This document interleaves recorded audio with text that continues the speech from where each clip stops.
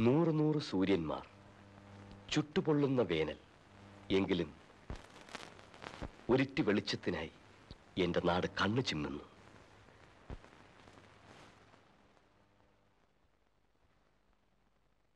നൂറ് നൂറ് ഗോപുരങ്ങൾ മിനാറുകൾ കുരിശുപള്ളികൾ അവിടെയെല്ലാം നിന്ന് അനവരതം മുഴങ്ങുന്ന പ്രാർത്ഥനകൾ. എങ്കിലും സ്നേഹത്തിന്റെ മന്ത്രധ്വനിക്കായി എന്റെ നാട് കാതോർത്തു നിൽക്കുന്നു.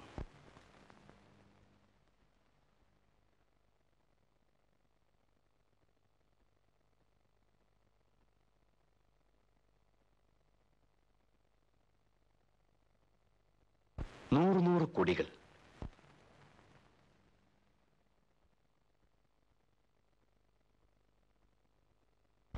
അന്തമില്ലാത്ത ഘോഷയാത്രകൾ പ്രലോഭനങ്ങൾ വാഗ്ധോരണികൾ എങ്കിലും സത്യത്തിന്റെയും ആത്മാർത്ഥതയുടെയും ദാഹജലത്തിനായി എന്റെ നാടിന്റെ മനസാക്ഷി ദാഹിച്ചുടർന്നു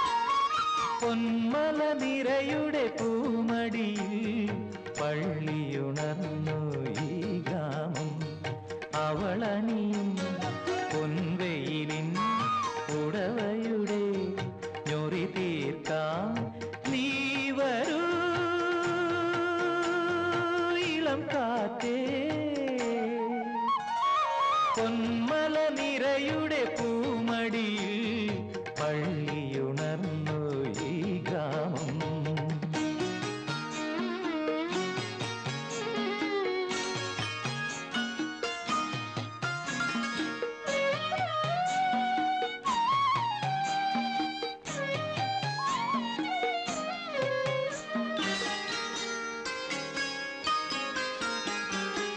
ജലനീർജരിയുടെ കരളിൽ പുതിയൊരു മൃദുമഞ്ജീര നിനാദം. തദ്ധി തദ്ധി തത്തകധിമി തകതിമി തകതിമിധി ജലനീർജരിയുടെ കരളിൽ പുതിയൊരു മൃദുമഞ്ജീര നിനാദം. അവളുടെ കരപരിലാളന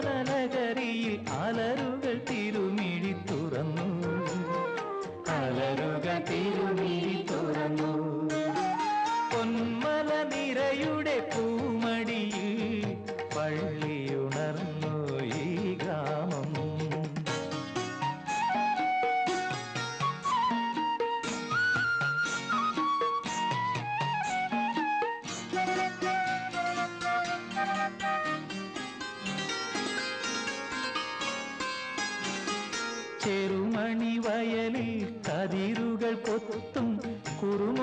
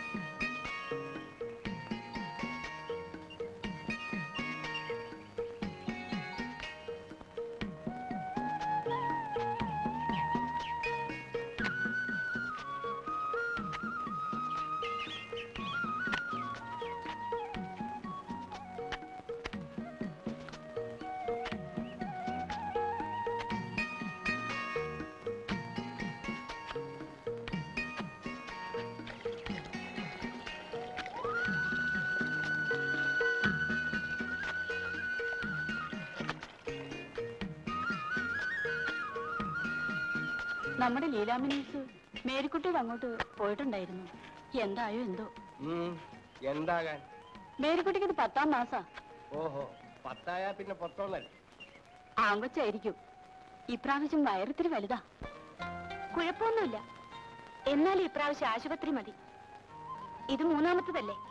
ഇനി ഇതങ്ങ് നിർത്താം. അവിടെയാകുമ്പം അതിന്റെ ഓപ്പറേഷൻ കൂടി നടത്താം. എന്താ? ഭർത്താവിനോട് ഞാൻ പറയണോ? വേണ്ട. എന്റെ കുര്യാക്കോസേട്ടാ ഇതൊന്നും വലിയ സാമർഥ്യമല്ല. മതി മൂന്നെണ്ണം മതി. പുരുഷനാണെന്ന് സമ്മതിച്ചിരിക്കുന്നു. പോരെ.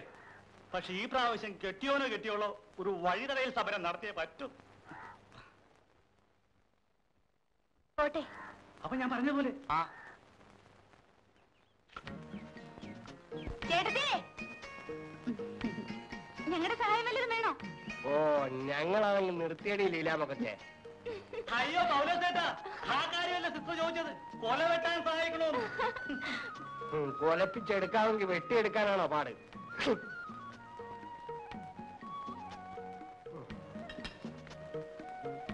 മോളമ്മ ഇന്ന് കോളേജിൽ പോകുന്നില്ലേ? പോണ്. രണ്ടുപേരും കൂടെ അകത്തോട്ട് കയറിയിരുന്ന കാപ്പ് പിടിച്ചിട്ട് പോവാ. ഇന്ന് സമയമില്ല ഏട്ടത്തി. ഹെൽത്ത് സെന്ററിൽ ചെന്നിട്ട് മരുന്ന് വാങ്ങാൻ മുണ്ടക്കയത്ത് പോണം. വരട്ടെ മോളമ്മേ. ഗുരുവായൂരപ്പ ഭഗവാനെ അവന് സൽബുദ്ധി തോന്നിക്കണേ. പിടിച്ച ഉടനെ സത്യമെല്ലാം തുറന്നു പറയാനുള്ള സന്മനസ് അവനുണ്ടാകണേ. അടിയനെ ബുദ്ധിമുട്ടിക്കാതെ തൊണ്ടി സാധനങ്ങളെല്ലാം അവൻ തന്നെ സ്വയം എടുത്തു തരാനുള്ള മഹാമനസ്കത അവൻ കാണിക്കണേ. ഭഗവാനെ ഗുരുവായൂരപ്പ ഭഗവാൻ എന്താണ് എന്റെ പരമാനന്ദ പിള്ള ചേട്ടാ ഏതെങ്കിലും കള്ളൻ കട്ടെടുത്തതൊക്കെ പോലീസുകാരെ ഏൽപ്പിച്ച ചരിത്രമുണ്ടോ? കാദർ ഈ കാണിച്ചത് ഒട്ടും ശരിയായിട്ടില്ല. അന്യന്റെ സ്വകാര്യ സംഭാഷണം ഒളിഞ്ഞു നിന്ന് കേൾക്കാൻ പാടില്ല. ഈശ്വരനോടും സ്വകാര്യ സംഭാഷണോ ഇത്രയും ശുദ്ധാത്മാവായ പരമാനന്ദ പിള്ള ചേട്ടൻ എന്തിനാ പോലീസിൽ ചേർന്നത്? ആ വേണ്ടായിരുന്നു എന്ന് ഇപ്പൊ തോന്നുന്നുണ്ട് ഈശ്വര്യമ്മ കാരണം എല്ലാം സംഭവിച്ചു എന്ന് പറഞ്ഞാ കഴിഞ്ഞല്ലോ. അതാരെ ഈശ്വരിയമ്മ? ഓ ഈശ്വരന്റെ കെട്ടുകളായിരിക്കും എന്റെ ഭാര്യയാണ്ടോ ഉത്തരവ്. അധികാരമുള്ള ഒരു പോലീസ് ഉദ്യോഗസ്ഥന് മാത്രമേ മകളെ കെട്ടിച്ചു കൊടുക്കൂ എന്ന് ഈശ്വരയുടെ അച്ഛൻ ഒരു വാശി. ഈശ്വരിയെ കെട്ടിയേ അടങ്ങുമെന്ന് എനിക്ക് കൊള്ളാം. പോയി പോലീസിൽ അതാണ് സംഭവിച്ചത്. ആരെയും നുള്ളി നോവിക്കാതെ പെൻഷൻ വാങ്ങിക്കാൻ കഴിയണേ എന്നാണ് എന്റെ പ്രാർത്ഥന. ഇനി രണ്ട് വർഷം കൂടെയുണ്ട്. കാത്തുരക്ഷിക്കണേ. അപ്പോഴേ ഞാനൊരു ചായ കുടിച്ചിട്ട് വരാം. Very very thanks. എന്തു തന്നെയായാലും നമ്മുടെ അച്ഛൻ പറയുന്നതിനപ്പുറത്ത് ഒന്നുമില്ല. അച്ഛൻ എന്താ ഇഷ്ടം എന്ന് വെച്ചാൽ അതുപോലെ അങ്ങ് ചെയ്യാം. എന്തു പറയുന്നു? ആ, ആ, അതുപോലെ അങ്ങനെ ചെയ്യാം. നമസ്കാരം. എപ്പോഴും എപ്പോഴും സ്തുതിയായിരിക്കട്ടെ ഇരിക്കിരിക്കെ എന്താണ് നിങ്ങളുടെയൊക്കെ തീരുമാനം? അച്ഛന്റെ തീരുമാനം തന്നെയാ ഞങ്ങളുടെയും തീരുമാനം. ഇത്തരം കാര്യങ്ങൾ തീരുമാനമെടുക്കാൻ എന്നേക്കാൾ കഴിവ് പഞ്ചായത്ത് പ്രസിഡന്റല്ലേ അല്ലച്ചോ ജാതി മതഭേദം നോക്കാതെ ഈ നാട്ടുകാർക്ക് വേണ്ടി അച്ഛൻ ചെയ്തിട്ടുള്ള നല്ല കാര്യങ്ങളുടെ ഒരു അംശം പോലും പതിനഞ്ച് കൊല്ലം പഞ്ചായത്ത് പ്രസിഡന്റായ എനിക്ക് പോലും ചെയ്യാൻ സാധിച്ചിട്ടില്ല. അതുകൊണ്ട് ഈ ഗ്രാമത്തെ സംബന്ധിച്ചിടത്തോളം അച്ഛനെ കഴിഞ്ഞ് ഞങ്ങൾക്ക് വേറൊരാളുള്ളൂ. സന്തോഷം. ഇതിൽ കൂടുതൽ ഒരു പുരോഹിതൻ എന്താ വേണ്ടത്?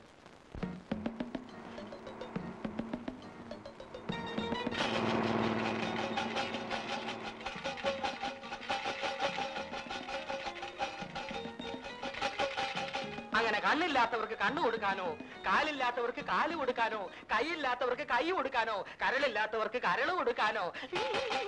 താൻ എന്ത് വേണമെങ്കിലും കൊടുക്കും വഴിയിൽ നിന്ന് മാറ്. അങ്ങനെ മാറാൻ പറ്റില്ല സുഹൃത്തുക്കളെ. ഈ പറയുന്നതൊന്നും നമുക്ക് കൊടുക്കാൻ കഴിയില്ല. പക്ഷേ തുണി കൊടുക്കാൻ പറ്റും. അപ്പൊ ഞങ്ങൾക്ക് തുണി വേണ്ടേ? അയ്യോ നിങ്ങൾ തെറ്റിദ്ധരിച്ചിരിക്കുന്നു. ഉടുത്തിരിക്കുന്ന തുണി ഉരിഞ്ഞു തരാനല്ല ഞാൻ പറഞ്ഞത്. കൊടുങ്കാറ്റും പേമാരിയും കൊണ്ട് നാടും വീടും നഷ്ടപ്പെട്ടവർക്ക് ഉടുതുണി വാങ്ങി കൊടുക്കാനുള്ള ഒരു ചെറിയ സംഭാവനയാണ് ഞാൻ ചോദിച്ചത്. അതിന് അതിനിവിടെ എവിടെയാ കൊടുങ്കാറ്റും പേമാരി ഉണ്ടായത്? ഇവിടെങ്ങും അല്ല സുഹൃത്തുക്കളെ അങ്ങ് ഭാരതത്തിന്റെ വടക്കുകിഴക്കേ കോണിൽ. നമ്മളെല്ലാം ഭാരതീയരല്ലേ? ഭാരതത്തിന്റെ വടക്കുകിഴക്കേ കോണിലായാലും തെക്കുകിഴക്കേ കോണിലായാലും പേമാരി പേമാരി തന്നെയല്ലേ? താനി വന്നേ.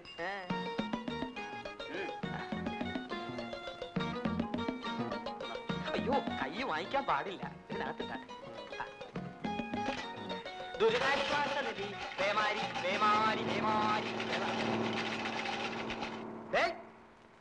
ബിരുവന്താണി ഇവിടെ വരൂ. അല്ലെങ്കിൽ വേണ്ട അവിടെ നിൽക്കേ ഞാൻ അങ്ങോട്ട് വരാം.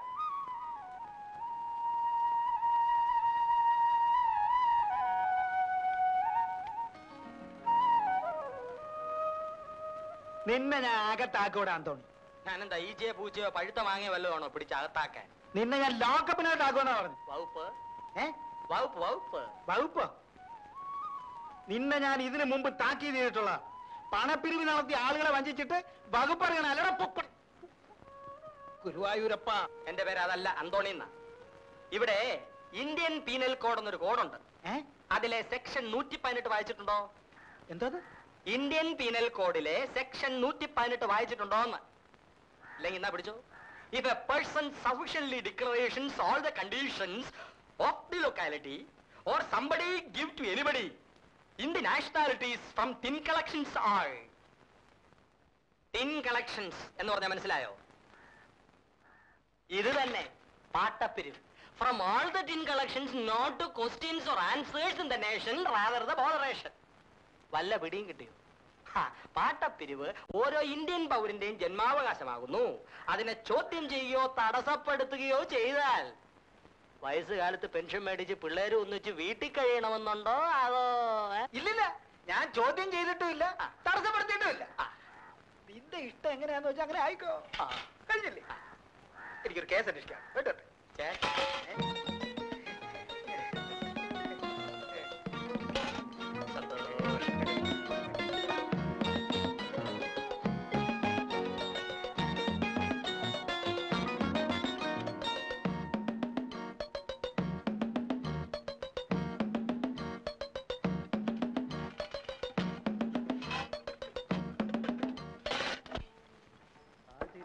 ദോശ എടുത്തേ ആ തരാം.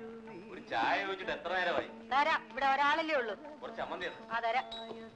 ഒരു ചായ ആ സ്വല്പം താമസമുണ്ട്. താമസിക്കാൻ എനിക്ക് സമയമില്ല. എന്നാ പോയിട്ട് വന്നാ മതി. ഇത് എവിടുത്തെ മര്യാദയാണ്?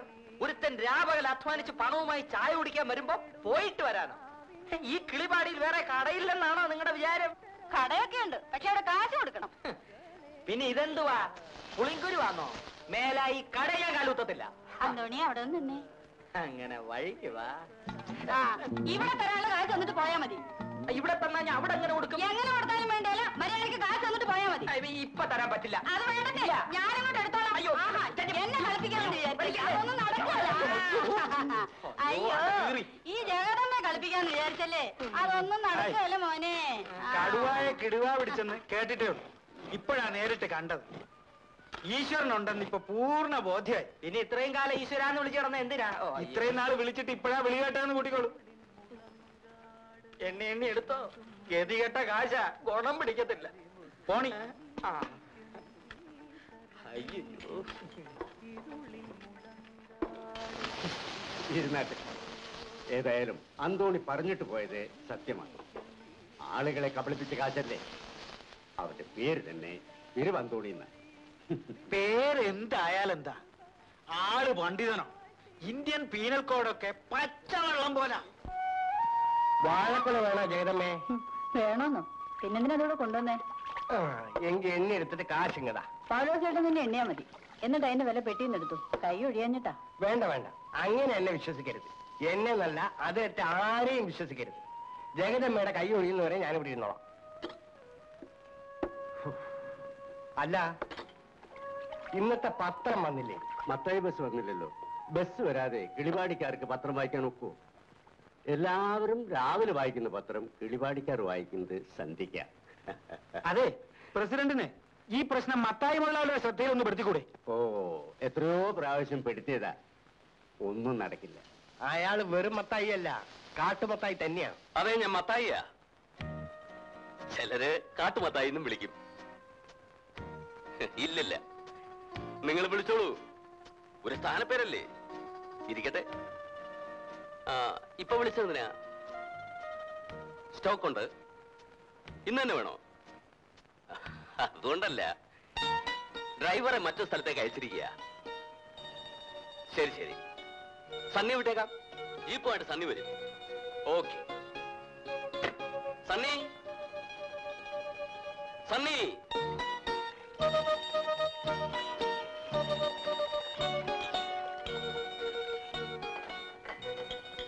അലസേ ചിറ്റപ്പം വിളിക്കുന്നുണ്ട്. ചേട്ടൻ ഇവിടെ ഇല്ല. ജീപ്പ് കൊടുത്തിട്ട് നേരത്തെ പോയെന്ന് പറഞ്ഞു. അതെന്തിനാ മോനെ അങ്ങനെ നോണ പറയുന്നത്?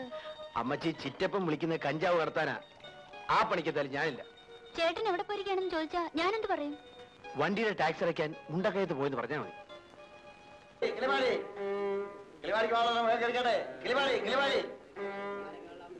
ആരും അറിയിച്ച്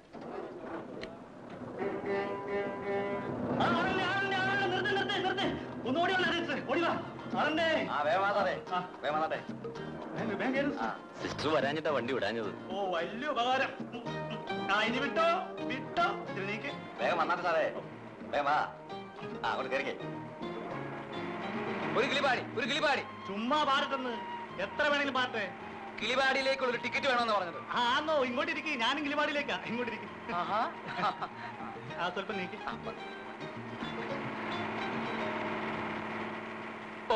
വന്ന് കയറിയപ്പോഴേക്കും നല്ലൊരു സുഹൃത്തിനെയാണല്ലോ കിട്ടിയത്. നമസ്തേ. ഞാൻ കിളിപാടിയിൽ അപരിചിതനാണ്. അതിനെന്ത് നീ കൈ ഇങ്ങനെ പിടിച്ചിരിക്കുന്നത്? ഇത് എവിടത്തെ നമസ്തയാ? ഇത് ഞങ്ങളുടെ അടയാളമാണ്. എൽ ഐ സി ചതിച്ചോ ഭഗവാനെ? ഇൻഷുറൻസ് ചെയ്യണ്ടെന്നോ ഇല്ല സുഹൃത്തെ. എൽ ഐ സി ആരെയും ചതിച്ചിട്ടില്ല. രക്ഷിച്ചിട്ടേ ഉള്ളൂ. അതായത് നമ്മളിപ്പോ ബസ്സിൽ യാത്ര ചെയ്യും. പോകുന്ന വഴിക്ക് തലയും കുത്തി. ഇവിടെ വെച്ച് നിർത്തില്ല. ഭഗവാനാണ് ഇനി ബസ്സിൽ നിർത്തി ചാടും. ഓ. ശരി. എങ്കിൽ ബസ്സിൽ നിന്ന് ഇറങ്ങിയിട്ട് നമുക്ക് വിശദമായിട്ട് സംസാരിക്കാം. പോരെ. ആ.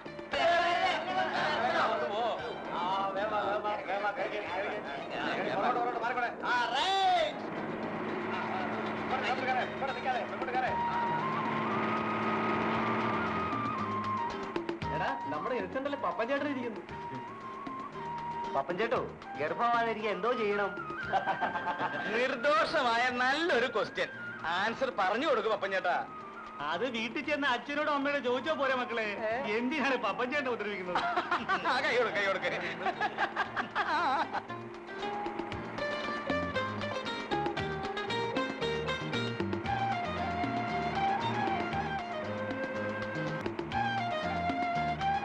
അതൊക്കെ ഞാൻ വേണ്ടതുപോലെ ചെയ്തോളാം. പിന്നെ ഞാൻ എന്തിനാ നിങ്ങൾ എം എൽ എ ആണെന്ന് പറഞ്ഞ് നടക്കുന്നത്? അപ്പൊ പറഞ്ഞൊക്കെ മനസ്സിലായല്ലോ? അടുത്ത അസംബ്ലിയിൽ ഈ കാര്യം ഞാൻ അവതരിപ്പിച്ചിരിക്കും. എന്നാ പോരെ?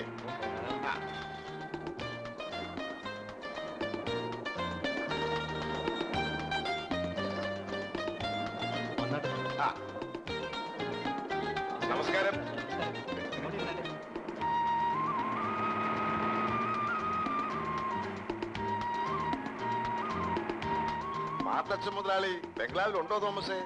മുതലാളി ഇന്ന് ബാംഗ്ലൂരിൽ നിന്ന് വന്നേ ഉള്ളൂ സാർ. മകളെ കാണാൻ പോയിരുന്നു. മടങ്ങി വന്നോ ഇല്ലയോ എന്ന് ഒരു സംശയം ഉണ്ടായിരുന്നു.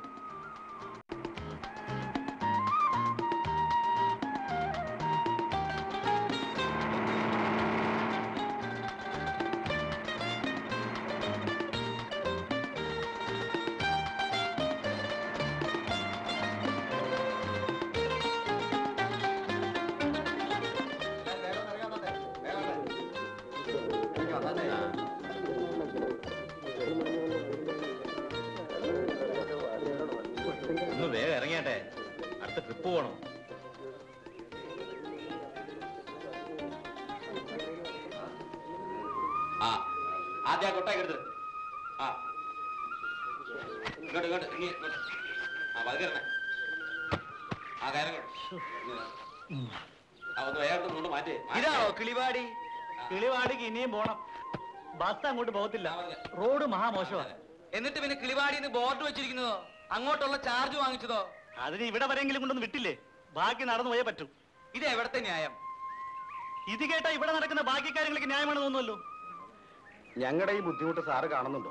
ഇന്ന് മത്തായി മുതലാളിയെ കാണുമ്പോ സാറ് ഈ റോഡിന്റെ കാര്യം ഒന്ന് പറഞ്ഞ് ശരിയാക്കണം. വാസ്തവത്തിൽ ഇത് കാണുമ്പോൾ എനിക്ക് സങ്കടം തോന്നുന്നു. ഈ കാര്യം പറയാൻ വേണ്ടി തന്നെയാണ് ഞാൻ ഇന്ന് മുതലാളിയെ കാണാൻ പോകുന്നത്. അപ്പൊ വരട്ടെ.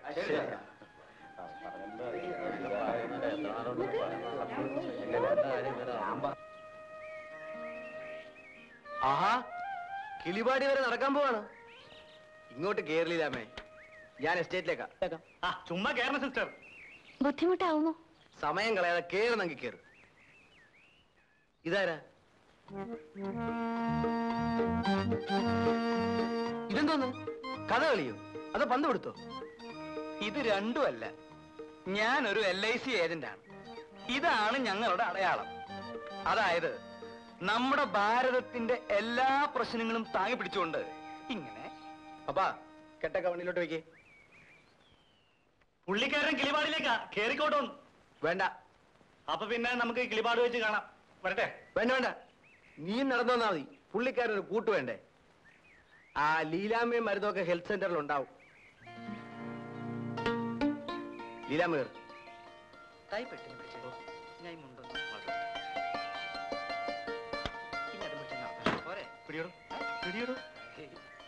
പോട്ടെ. സാരല്ലേ?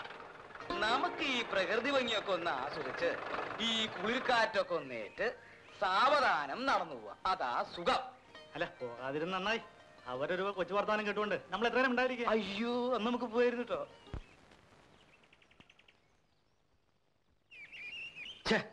ആ ദരിദ്രവാസി പപ്പനെ കാണുന്നില്ലല്ലോ. പോയിട്ടൊരു കാര്യം ഉണ്ടായിരുന്നു. ഇങ്ങനെ ബുദ്ധിമുട്ടേണ്ട വല്ല കാര്യം ഉണ്ടായിരുന്നോ? പപ്പനെ കൂടെ ജീപ്പി കയറ്റിയ പോരായിരുന്നോ? നല്ല ശിക്ഷയായി. അവനെ കൂടെ കയറ്റിയിരുന്നെങ്കിൽ നമുക്ക് വല്ലതും മിണ്ടാനൊക്കോ അവനിങ്ങനെ ചെവിയും കുറിപ്പിച്ചിരിക്കില്ലേ?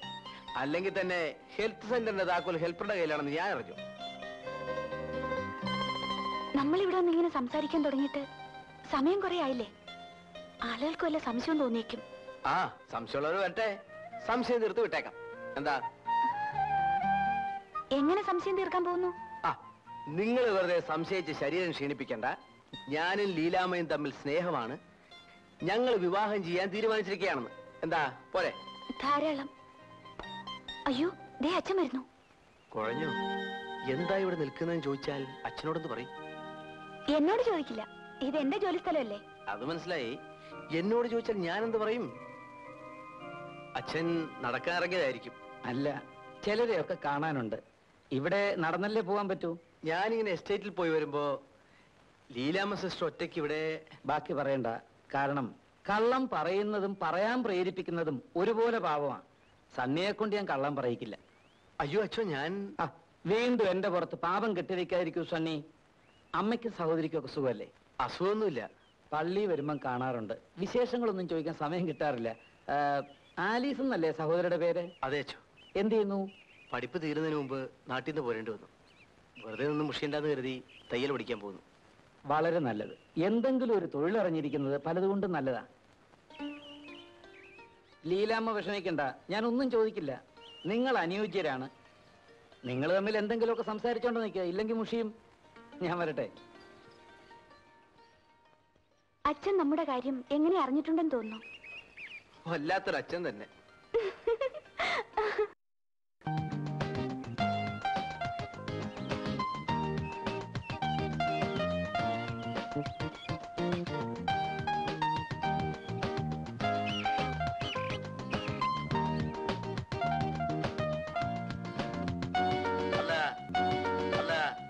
ഞങ്ങളുടെ പാർട്ടിക്കാരുടെ കാര്യത്തിൽ മുതലാളി ഒട്ടും ഭയപ്പെടേണ്ട. അത് ഞാൻ ഉറപ്പു തരുന്നു. പക്ഷേ ഇടതുപക്ഷക്കാരെ സൂക്ഷിക്കണം. അവരിങ്ങനെ എപ്പോഴും കേന്ദ്രത്തിലേക്ക് പരാതി അയക്കാൻ തുടങ്ങിയാൽ പേരിനെങ്കിലും ഒന്ന് അന്വേഷിക്കാൻ പറ്റുമോ? അതുകൊണ്ട് ഞാനിപ്പോ എന്ത് ചെയ്യണമെന്നാ വട്ടപ്പറ പറയുന്നേ? എല്ലാ കാര്യത്തിലും മുതലാളി കുറച്ചുകൂടി ഒന്ന് ശ്രദ്ധിക്കണം. കെട്ടിക്കഴിഞ്ഞിട്ട് നമ്മൾ അഴിക്കാതെ നടക്കുന്നതിൽ ഭേദം കെട്ട് വീഴാതെ സൂക്ഷിക്കുന്നതല്ലേ? ഈ കാര്യം മുതലാളിയോടൊന്ന് പറയാനായിട്ടാ ഞാനിപ്പോ ഇങ്ങോട്ട് ഇറങ്ങിയത്. നിങ്ങൾ നിങ്ങളുടെ കാര്യം നോക്കണം മട്ടപ്പാറേ നിങ്ങളുടെ കേന്ദ്രം വന്നാലും സ്റ്റേറ്റ് വന്നാലും മത്തായിമാർക്കിട്ട് ഒരു ചുക്കും ചെയ്യാൻ പറ്റില്ല. ഞങ്ങളെ കെട്ടാൻ വരുന്നവരെ കെട്ടാനുള്ള പണി ഞങ്ങൾക്കറിയാം. തൽക്കാലം പോയട്ടെ. എനിക്ക് വേറെ ജോലി ഒരു ചെറിയ പ്രശ്നങ്ങളുണ്ട് മുതലാളി. എന്താ വല്ല കല്യാണവും മറ്റോ ആയിരിക്കും? അയ്യോ അതൊന്നുമല്ല. ഇത് ബഹുജനങ്ങളുടെ പ്രശ്നമാണ്. മുതലാളി ദയാപൂർവം ഒന്ന് പരിഗണിക്കണം. ആ പറയണം. നമ്മുടെ ബസ് കിളിബാരി വരെ പോകുന്നു എന്നാണ് ബോർഡ് വെച്ചിരിക്കുന്നത്. അവിടം വരെയുള്ള ചാർജ് വാങ്ങുന്നുണ്ട്. പക്ഷേ കിളിപാടി വരെ പോകുന്നില്ല. അതുകൊണ്ട് ബസ് കിളിപാട് വരെ പോകാൻ ഏർപ്പാട് ചെയ്യണം. ഇതല്ലേ പ്രശ്നം? അതെ അത്രേ ഉള്ളൂ. ബഹുജനങ്ങളുടെ ഒരു അപേക്ഷയാണ്. ആരുടെ അപേക്ഷയാണെങ്കിലും ഞാൻ തള്ളിയിരിക്കുന്നു. കിളിവാടിയിലേക്കുള്ള തല്ലിപ്പൊളി റോഡിലൂടെ ബസ് വിടാൻ എനിക്ക് മനസ്സില്ല. എന്റെ ബസിന്റെ ടയറും പ്ലേറ്റും പോയാൽ രൂപ പോകുന്ന എന്റേതാ? അങ്ങനെയാണെ ഒരു കാര്യം ചെയ്തേക്കണം മുതലാളി. കിളിപാടി വരെ ബസ് വിടണ്ട. ബസ് പോകുന്നിടം വരെയുള്ള ചാർജ് മേടിച്ചാൽ മതി. പ്രശ്നം തീർന്നില്ലേ? ബഹുജനങ്ങളുടെ പ്രശ്നം തീരും. പക്ഷെ നേതാക്കന്മാരായ നിങ്ങളുടെയൊക്കെ പ്രശ്നം കുഴയും.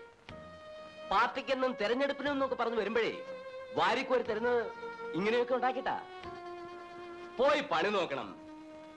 ബഹിരങ്ങൾ അവരുടെ കാര്യം നോക്കിക്കോളും നിങ്ങൾ നിങ്ങളുടെ കാര്യം നോക്കണം. ഉദാരമായി സംഭാവനയാണ് സർ. ഒട്ടും മടിക്കേണ്ട കാര്യമില്ല. ആറാട്ടിന് കൊണ്ടുവന്ന ഒരു ആന ഏഴുപേരെ കുത്തിക്കൊന്നു സർ. എത്ര പേരെ? ഏഴുപേരെ ഏഴ് കുടുംബങ്ങളിലും കൂടി ഏഴ് അൻപത്തി ആറ് മനുഷ്യ ജീവിതങ്ങളെ പട്ടിണിയിൽ നിന്ന് രക്ഷിക്കുന്നതിന് വേണ്ടി ഉദാരമായി സംഭാവനയാണ് സർ. നിർത്ത് നിർത്ത് നിർത്ത് നിർത്ത്. ഞാൻ ഒരു സംശയം ചോദിക്കട്ടെ? ഈ ഏഴ് പേരിൽ ഒരാൾ പോലും ഇൻഷൂർ ചെയ്തിരുന്നില്ലേ? അയ്യോ ഇല്ലല്ലോ സർ. അതവർക്ക് അറിയില്ലായിരുന്നു. കഷ്ടം. കണ്ടോ? എത്ര ലക്ഷം രൂപയാണ് ആ കുടുംബങ്ങൾക്ക് നഷ്ടപ്പെട്ടെന്ന് നോക്കൂ. അപകടങ്ങൾ ഓർക്കാപ്പുറത്താണ് തല്ലി വന്നു വീഴുന്നത്. കരുതിയിരിക്കുന്നതാണ് ബുദ്ധി. അതൊക്കെ പോട്ടെ താങ്കൾ ഇൻഷുർ ചെയ്തിട്ടുണ്ടോ? ഇല്ലല്ലോ. എങ്കിലും ഉടനെ ചെയ്യണം. താങ്കളുടെ തൊഴിൽ വെച്ച് നോക്കുമ്പോ കയ്യും കാലും ഇൻഷുർ ചെയ്യുന്നതാണ് നല്ലത്. കാര്യം? ഇതുപോലുള്ള തൊഴിൽ കൊണ്ടു നടക്കുന്നവരുടെ കൈയും കാലും ആളുകൾ തല്ലി ഒടിക്കും അപ്പൊ ഇൻഷൂർ ചെയ്താൽ വീണു പോയാലും പട്ടിണി കൂടാതെ കഴിയാം. എന്തു പറയണു? എഴുതട്ടെ ഒരു പോളിസി അല്ല ഒന്നുമില്ല. പോയി വാ മോനെ. നമുക്ക് ഇടയ്ക്കിടയ്ക്ക് ഇങ്ങനെ കാണാം. കുറെ കാലം ഞാൻ ഇവിടെ ഉണ്ടാവും എങ്കിൽ നമുക്കൊരു ഐക്യ മുന്നണിയായിട്ട് നീങ്ങിയാലോ? തെരഞ്ഞെടുപ്പ് വരികയല്ലേ? വേണ്ട വേണ്ട. ഒരു മുന്നണിയും വേണ്ട. പിരിവ് വേറെ എൽ ഐ സി വേറെ. സ്ഥലം ഇവിടെ എവിടുന്ന് വന്നടാ?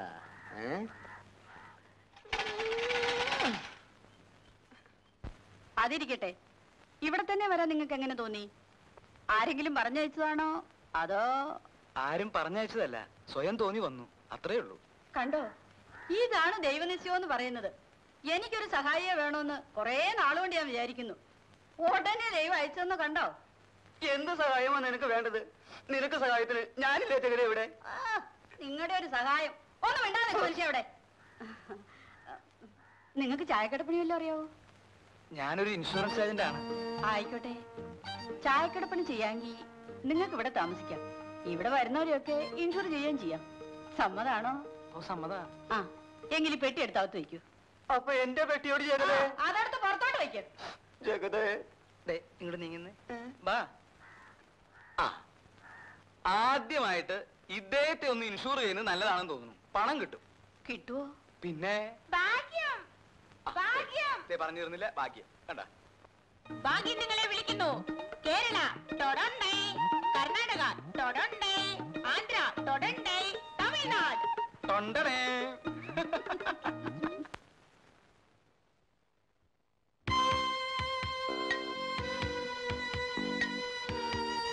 ആരാ? എന്ത് വേണം? ഞാനിങ്ങോട്ട് സ്ഥലം മാറി വന്നൊരു പോലീസുകാരനാണ്. പോലീസ് സ്റ്റേഷൻ ഇവിടെ അടുത്താണ്? ഇല്ല കുറച്ചുകൂടി പോണം. കുറച്ചുകൂടി എന്ന് പറഞ്ഞാൽ? ആ വളവ് തിരിഞ്ഞാ മതി. അപ്പൊ കാണാം. അബദ്ധമായിപ്പോയി. ആ ജീപ്പിൽ തന്നെ പോകാമായിരുന്നു. ഞാനൊരു ടാക്സി ജീപ്പിലാണ് വന്നത്. ഇനി ഈ പെട്ടിയും തൂക്കി പിടിച്ച് നടക്കണ്ടേ? ആ ഈ പെട്ടി ഇവിടെ നിന്ന് വെച്ചോട്ടെ. പോലീസ് സ്റ്റേഷൻ കണ്ടുപിടിച്ചിട്ട് തിരിച്ചു നിർത്തോളാം. അത് വേണ്ട. നിങ്ങൾ തിരിച്ചു വരുമ്പോ ഞാനിവിടെ ഇല്ലെങ്കിലോ? മറ്റാരെങ്കിലും കാണാതിരിക്കോ? മറ്റാരും ഇവിടെ ഇല്ല. ഒരു അറ്റൻഡർ ഉണ്ടായിരുന്നു. അയാൾ വീട്ടിൽ പോയിരിക്കുക. ഇനി നാളെ വരൂ.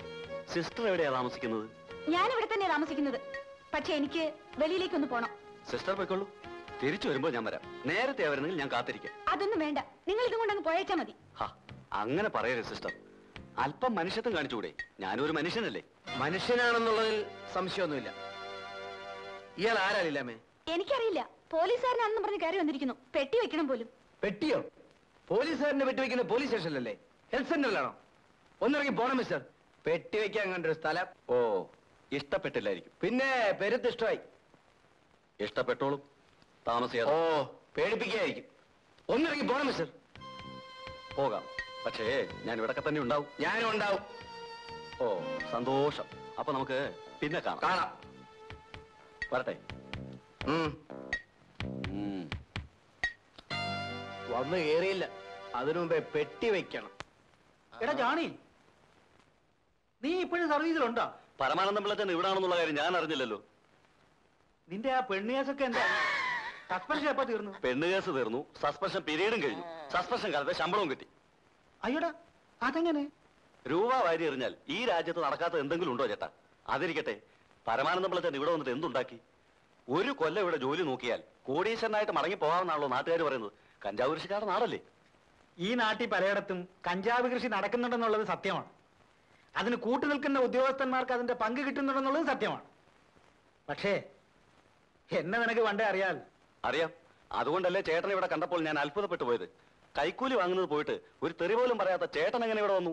ഈ വയസ്സുകാലത്ത് ഞാനും വല്ലതും ഉണ്ടാക്കുന്നെങ്കിൽ ഉണ്ടാക്കിക്കോട്ടെ എന്ന് മേലധികാരിയൊക്കെ തോന്നിയിരിക്കും. പക്ഷേ എന്ത് ഫലം? ഞാനാണെങ്കിലേ ഇരുപത്തയ്യായിരം രൂപ കൈക്കൂലി കൊടുത്താ ഇങ്ങോട്ട് സ്ഥലം മാറ്റം മേടിച്ചത്. അപ്പോ നീ അത് മുതലാക്കുമെന്നുള്ളത് തീർച്ചയാ. ഇല്ലെങ്കിൽ പിന്നെ ഞാൻ ഇങ്ങോട്ട് വരുമോ ചേട്ടാ? പിന്നെ ഒരു കാര്യം. ആ. ഇവിടെ മുതലാളിമാര് കഞ്ചാവ് കൃഷി നടത്തുന്നുണ്ട്. പോലീസുകാരൻ തൊട്ട് മന്ത്രി വരെ ഉള്ളവർക്ക് അതിന്റെ വിഹിതവും കൊടുക്കുന്നുണ്ട് ഓഹോ. പക്ഷേ ഇവിടുത്തെ നാട്ടുകാരുണ്ടല്ലോ. അവർ പരമപാവങ്ങൾ പിന്നെ? നല്ലവരും പിന്നെ ഈ പെമ്പിള്ളാരെ കാണുമ്പോ നിന്റെ ഒരുമാതിരി ഒരു ഒരു ഒരു ഒരു വിരിവിരിപ്പുണ്ടല്ലോ. എന്താടാ? ഉത്തരവ്. ആ സുഖക്കേടുണ്ടല്ലോ അത് ഇവിടെ കാണിക്കരുത്. ഈ ഷേപ്പേ മാറിപ്പോവും ഞാൻ പറഞ്ഞില്ല എന്ന് വേണ്ട. അതൊക്കെ ഞാൻ നിർത്തി പരമാനന്ദം പിള്ള ചേട്ടാ നീയോ? എടാ ജാണി അണ്ണാ മരം കയറ്റം മറന്ന കഥ എവിടെയെങ്കിലും കേട്ടിട്ടുണ്ടോടാ? നിന്റെ നന്മയ്ക്ക് വേണ്ടി ഞാൻ പറയാനുള്ളത് പറഞ്ഞു. പിന്നെ നിന്റെ ഇഷ്ടം. ആ നീ പോയി ഈ സൂത്രമൊക്കെ അകത്തുകൊണ്ട് വെച്ചിട്ട് വേഗം റെഡിയാവാൻ നോക്ക്. പോയി കുളിക്കടാ പോ.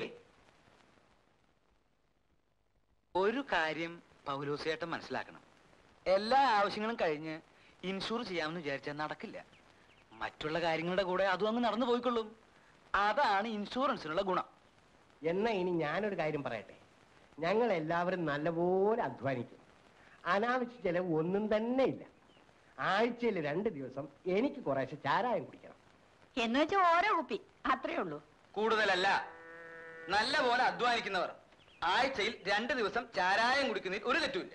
ബാക്കി അഞ്ച് ദിവസം എനിക്ക് കള്ളുമതി അതാണ് അതിന്റെ ഒരു ചിട്ട. ഓഹോ അങ്ങനെ ചിട്ടപ്പെടുത്തി വെച്ചിരിക്കുകയാണ്. ആ ഇതിനുള്ള കാശ് കഴിഞ്ഞാൽ പിന്നെ ചെലവിനുള്ള കാശേ കാണൂ. പിന്നെ എങ്ങനെ ഇൻഷുർ ചെയ്യും? കാശ് തരണ്ടേ? അപ്പോ ഈ നിൽക്കുന്ന മോളമ്മയുടെ ഭാവിയെ കുറിച്ച് എന്താ തീരുമാനം? അവൾ ഞങ്ങൾക്ക് ഒറ്റ മോളാ. അവക്ക് കൊടുക്കാനുള്ള പൊന്നും പണമൊക്കെ ഞങ്ങൾ നേരത്തെ കരുതി വെച്ചിട്ടുണ്ട്. ഇനിയിപ്പോ അവിടെ പഠിത്തം കൂടി കഴിഞ്ഞാൽ കൊള്ളാവുന്ന ഒരുത്തിന് അവളെ കെട്ടിച്ചുകൊടുക്കും അല്ലേ? ആ ചെറുക്കനെ ഞങ്ങൾ കണ്ടുവച്ചിട്ടുണ്ട് കണ്ടു വെച്ചെന്നല്ലേ ഉള്ളൂ. വാക്കൊന്നും കൊടുത്തിട്ടില്ലല്ലോ. എന്താ വേറെ ചെറുക്കനുണ്ടോ? ആ, ചെറുക്കനൊക്കെ ഉണ്ട്. വേണമെങ്കിൽ നമുക്കൊരു ആലോചന നടത്താമായിരുന്നു. ആര്? കാണാനൊക്കെ മിടുക്കനാണോ? അയ്യോ പിന്നെ. ഏകദേശം എന്നെ പോലെ ഇരിക്കും. ഛീ, എനിക്കൊന്നും വേണ്ട. അതെന്താ മോളമ്മ അങ്ങനെ പറഞ്ഞത്? സാറിനെ പോലെയാ ഇരിക്കുന്നു പറഞ്ഞോണ്ടായിരിക്കും. എനിക്ക് എന്താ ഒരു കുറ്റം? അത് മാത്രം സാറ് ചോദിക്കരുത്. എന്താ? ഞാൻ പറഞ്ഞാൽ സാറ് കരയും. എങ്കിൽ അതൊക്കെ പോട്ടെ. ഇൻഷുറൻസിന്റെ കാര്യം എങ്ങനെയാ? സാറ് ഇപ്പൊ പോ ഞാൻ പിന്നെ അറിയിക്കാം. ആ ഞാൻ പോയേക്കാം. മോളമ്മ കത്തി വെച്ചത് എന്റെ ലൈഫിനെയാ.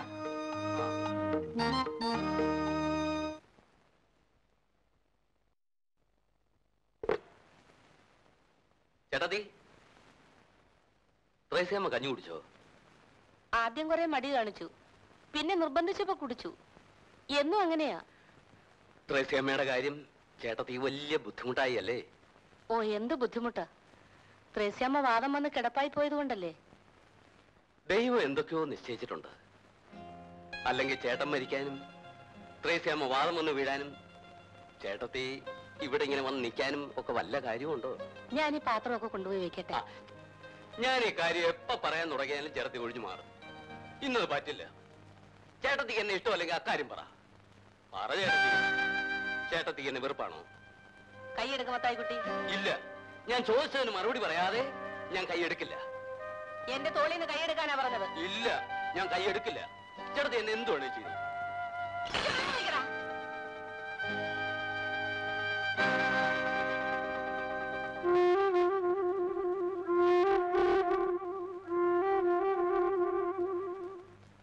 ആളുകൾ ചോദിച്ചാൽ എനിക്ക് മറുപടിയില്ലേ ഇടത്തി നീയും നിന്റെ ഭാര്യയും മക്കളും കാണാമറയത്ത് പോയി സുഖമായി കഴിയുന്നു. നിന്റെ ചേട്ടന്റെ ഭാര്യയും മക്കളും എങ്ങനെ കഴിയുന്നു നീ അന്വേഷിക്കാറുണ്ടോ മത്തായിക്കുട്ടി ഇന്ന്? ഉണ്ടെന്നോ ഇല്ലെന്നോ പറയാൻ പറ്റുമോ ചിറ്റപ്പം വിചാരിക്കുന്ന പോലെ അത്രയ്ക്ക് ബുദ്ധിമുട്ടൊന്നും ഞങ്ങൾക്കില്ല. അപ്പച്ചൻ മരിച്ചുപോയെന്നേ ഉള്ളൂ. എന്നാലും ഞങ്ങൾക്ക് സുഖമായിട്ട് ജീവിക്കാനുള്ള വകയൊക്കെ അപ്പച്ചൻ സമ്പാദിച്ചു വെച്ചിട്ടുണ്ട്. അതൊക്കെ ശരി. പക്ഷെ ഇങ്ങനെ കഴിയാനുള്ളവരാണോ നിങ്ങൾ? ചേട്ടനുണ്ടായിരുന്നെങ്കിൽ എന്നേക്കാൾ സുഖമായി ജീവിക്കേണ്ടവരല്ലേ? അതുകൊണ്ട് ഇനി ഇങ്ങനെ ഇവിടെ ജീവിക്കാൻ ഞാൻ സമ്മതിക്കില്ല. നിങ്ങളെ കൂടി എന്നോടൊപ്പം കൊണ്ടുപോകാനാണ് ഞാൻ വന്നിരിക്കുന്നത്.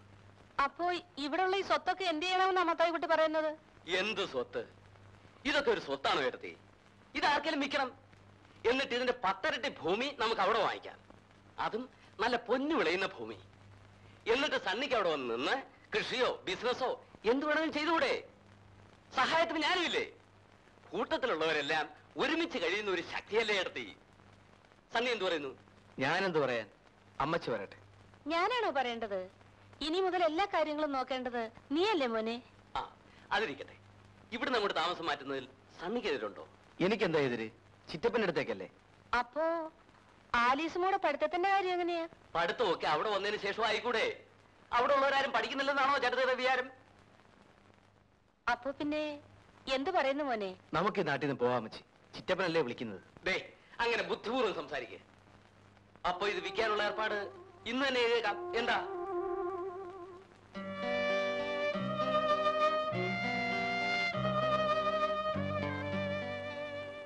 അമ്മച്ചി? ആ അമ്മച്ചി എന്താ ആലോചിച്ചിരിക്കുന്നത്? ഒന്നുമില്ല മോളെ. എന്തോ ഉണ്ട്. അല്ലെങ്കിൽ അമ്മച്ചി ഇങ്ങനെ ഇരിക്കേണ്ട കാര്യമില്ലല്ലോ. എല്ലാം വെറ്റി പെറുക്കി നമ്മൾ ഇങ്ങോട്ട് പോരാൻ പാടില്ലായിരുന്നു മോളെ. പോകുന്നത് അബദ്ധമായി. അതിനിപ്പോ എന്തുണ്ടായി? ആ മോൾ പോയി കാപ്പി കുടിക്കേ. ആ അമ്മച്ചി കാനഡയിൽ നിന്ന് ജോയിച്ചിന്റെ കത്തുണ്ടായിരുന്നു. എന്താ വിശേഷം? ഒത്തിരി വിശേഷമുണ്ട്. നിനക്ക് വന്ന കത്തല്ലേ? ഞാനെന്തിനാ വായിക്കുന്നത്? പുള്ളിക്കാരൻ അടുത്ത മാസം തന്നെ വരുന്നുണ്ട് പോലും. മടങ്ങുമ്പോ ഒറ്റയ്ക്കായിരിക്കില്ല അത്ര വരട്ടെ.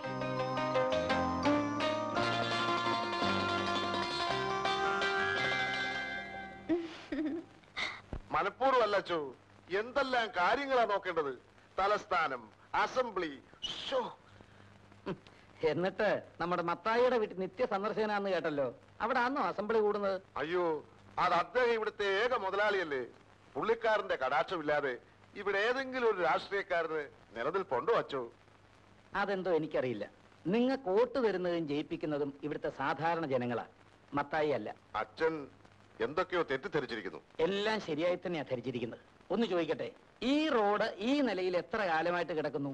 റോഡ് മോശമായതുകൊണ്ടല്ലേ ബസ് ഇവിടം വരെ വരാത്തത്? ഈ റോഡ് അത്ര മോശമൊന്നും അല്ലച്ചോ പിന്നെന്താ മത്തായിയുടെ ബസ് ഇവിടം വരെ വരാത്തത്? അത് വേണ്ട പൂരിപ്പിക്കണ്ട. എം എൽ എമാർക്ക് രണ്ട് റോഡ് വീതം അനുവദിച്ചിട്ടുണ്ടല്ലോ. അതിന്റെ പേരിൽ ഈ റോഡ് നിങ്ങൾക്ക് ശരിയാക്കാമായിരുന്നല്ലോ അതിന് പകരം മത്തായിയുടെ എസ്റ്റേറ്റിലേക്ക് കാറും ലോറിയും ചെല്ലത്തക്ക വിധം ആ റോഡും നിങ്ങൾ അയക്ക് അനുവദിച്ചു കൊടുത്തു. ഇതൊക്കെ ഇവിടെ ആർക്കും മനസ്സിലായിട്ടില്ലെന്ന് കരുതുന്നുണ്ടോ വട്ടപ്പാറ? അത് എന്റെ മാത്രം കുറ്റവലച്ചു വകുപ്പ് മന്ത്രി വിളിച്ചു പറഞ്ഞുകൊണ്ടല്ലയോ? മന്ത്രി ആയാലും എം എൽ എ ആയാലും എല്ലാരും കൂടി ഇവിടുത്തെ സാധുക്കളായ മനുഷ്യരെ കബളിപ്പിക്കുന്നതിന് ഒരു അതിരൊക്കെ ഉണ്ട് അത് മറക്കരുത്.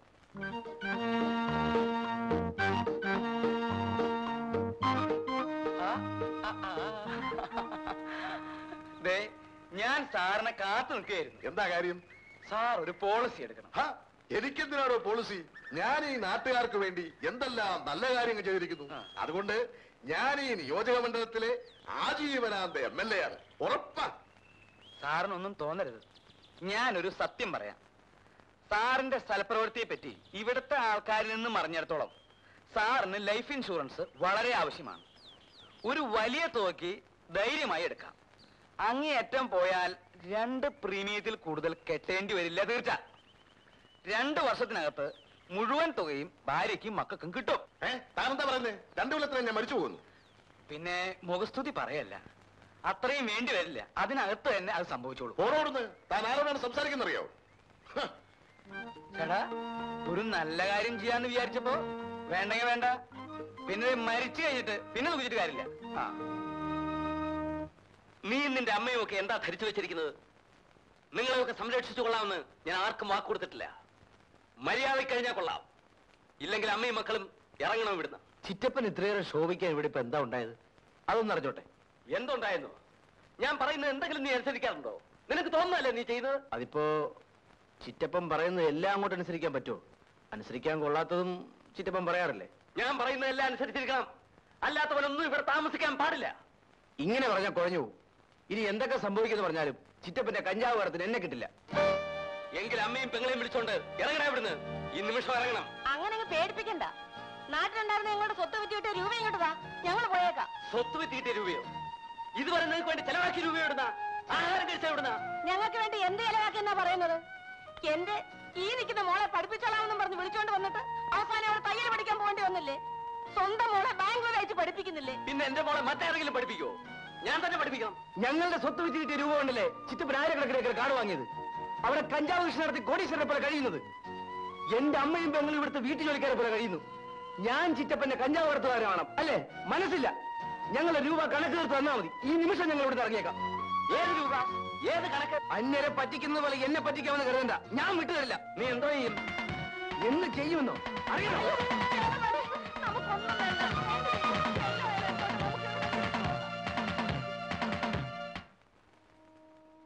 മത്തായി ഇത്രയേറെ കൊള്ളാത്ത ആളാണെന്ന് ഞാൻ അറിഞ്ഞിരുന്നില്ല.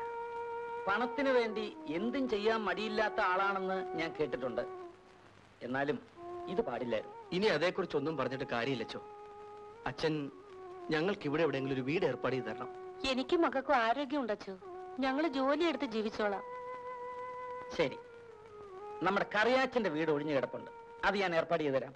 തൽക്കാലം അവിടെ താമസിക്കാം. മതിയച്ചോ പക്ഷേ ഇന്ന് തന്നെ ഞങ്ങൾക്ക് ഇങ്ങോട്ട് മാറിയാൽ അങ്ങനെ ആയിക്കോട്ടെ. സണ്ണിക്ക് ഡ്രൈവിംഗ് അറിയാമല്ലോ. ഒരു ജീപ്പ് വാങ്ങാനുള്ള പണം ഞാൻ ബാങ്കിൽ നിന്ന് എടുത്തു തരാം. കുറേശ്ശെയായിട്ട് അടച്ച് ബാങ്കിലെ കടം തീർത്താൽ മതി. വലിയ ഉപകാരച്ചോ അച്ഛനോട് ഇതിന് നന്ദി പറയേണ്ടത് എങ്ങനെയാണെന്ന് ഞങ്ങൾക്കറിയില്ലച്ചോ ഇതിന് നന്ദി പറയേണ്ട കാര്യമൊന്നുമില്ല. ചെയ്യാൻ കഴിയുന്ന സഹായങ്ങൾ പരസ്പരം ചെയ്യുക. അതാണ് മനുഷ്യത്വം.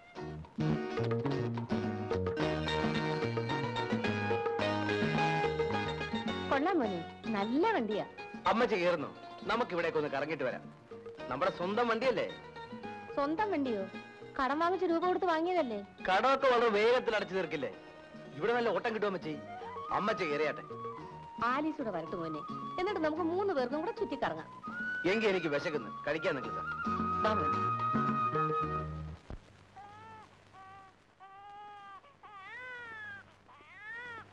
സിസ്റ്റർ. നിങ്ങൾ പുറത്തേക്കണം ഇവിടെ രോഗികൾക്ക് മരുന്ന് കൊടുത്തോണ്ടിരിക്കുക ഞാനും ഒരു രോഗിയാണ് സിസ്റ്ററെ.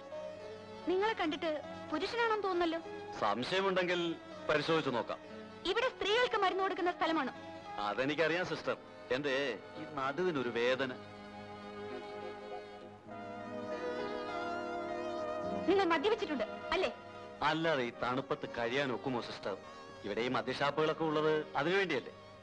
നിങ്ങൾ ഇറങ്ങിപ്പോയില്ലെങ്കിൽ ഞാൻ കംപ്ലൈന്റ് ചെയ്യും. നിങ്ങൾ ഇറങ്ങി പോകുന്നോ അതോ? ശരി ഞാൻ പോയിട്ട് പിന്നെ വരാം. ഉം? ശരീരം വേദനിക്കുന്ന പോലും അതിന് മരുന്നല്ല അടിയാണ് അവൻ ഇപ്പൊ ആവശ്യം. റാസ്കിൾ ഹും. ഓഫീസിൽ ചെന്ന് ചാർജ് എടുത്തിട്ട് പിന്നെ ഞാൻ അവിടെ നിന്നില്ല. നേരെ ഇങ്ങോട്ട് പോന്നു എന്റെ ഡ്യൂട്ടി നിശ്ചയിക്കേണ്ടത് അങ്ങല്ലേ? ആ, അത്രയും വേണ്ട. എന്നാലും മുഖ്യമന്ത്രിയോട് പറഞ്ഞ് ഞാൻ നിങ്ങളെ ഇങ്ങോട്ട് സ്ഥലം മാറ്റിയെടുത്തത് എന്തിനാണെന്ന് അറിയാമല്ലോ ആ ഏതാണ്ട് ഒരു ഊഹമുണ്ട്. എന്റെ മോൾ ആരെയും അങ്ങനെ പെട്ടെന്ന് ഇഷ്ടപ്പെടുന്ന കൂട്ടത്തിലല്ല. പക്ഷെ നിങ്ങളുടെ കാര്യത്തിൽ അവൾക്ക് എന്തോ ചില പ്രത്യേകതകളുണ്ട്. എങ്കിൽ അങ്ങനെ തന്നെ ആകട്ടെ ഞാനും കരുതി. അത് മാത്രമല്ല നിങ്ങൾ ഇവിടെ സർക്കിൾ ഇൻസ്പെക്ടർ ആയിരിക്കേണ്ടത് എന്റെ ഒരു ആവശ്യവുമാണ്. ഞാൻ എന്താ ചെയ്യേണ്ടതെന്ന് പറയേ വേണ്ടു. നിങ്ങളെ ഇങ്ങോട്ട് ട്രാൻസ്ഫർ ആക്കി എടുക്കുന്ന വിവരത്തിന് ഞാൻ മോൾക്ക് ഫോൺ ചെയ്തിരുന്നു. അവൾ ബാംഗ്ലൂരിൽ നിന്ന് മിക്കവാറും നാളെ വന്നേക്കും. ബാംഗ്ലൂരിൽ നിന്ന് എന്നെ വിളിച്ചിരുന്നു. ആര് സൂസമയോ? അതെ. എന്നിട്ട് ഫോണിൽ ഞങ്ങൾ തമ്മിൽ സംസാരിച്ചപ്പോൾ ആ വിവരം പറഞ്ഞില്ലല്ലോ? എന്റെ മകളായതുകൊണ്ട് പറയല്ല. ഭയങ്കര സ്മാർട്ടാണ് അവൾ ആ അത് പോട്ടെ തമ്പി ഇവിടെ വന്ന് ചാർജ് എടുത്തിട്ടുള്ള വിവരം ഈ നാട്ടാകെ ഒന്ന് അറിയണം. മനസ്സിലായല്ലോ? ആകെ ഒന്ന് കുലുക്കണമെന്നർത്ഥം. ആ കാര്യം ഞാൻ ഏറ്റിരിക്കുന്നു പുതിയ സർക്കിൾ ഇൻസ്പെക്ടർ ഉണ്ടല്ലോ. ആൾ ഭയങ്കര സ്ട്രിക്റ്റ് ആണെന്നാ കേട്ടത്.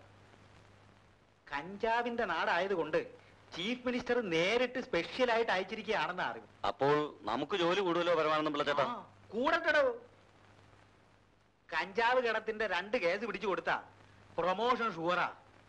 ഈ വയസ്സാം കാലത്ത് എനിക്കിനി പ്രൊമോഷനും വേണ്ട ഒരു മോക്ഷവും വേണ്ട. തനിക്ക് വേണേ നോക്കൂ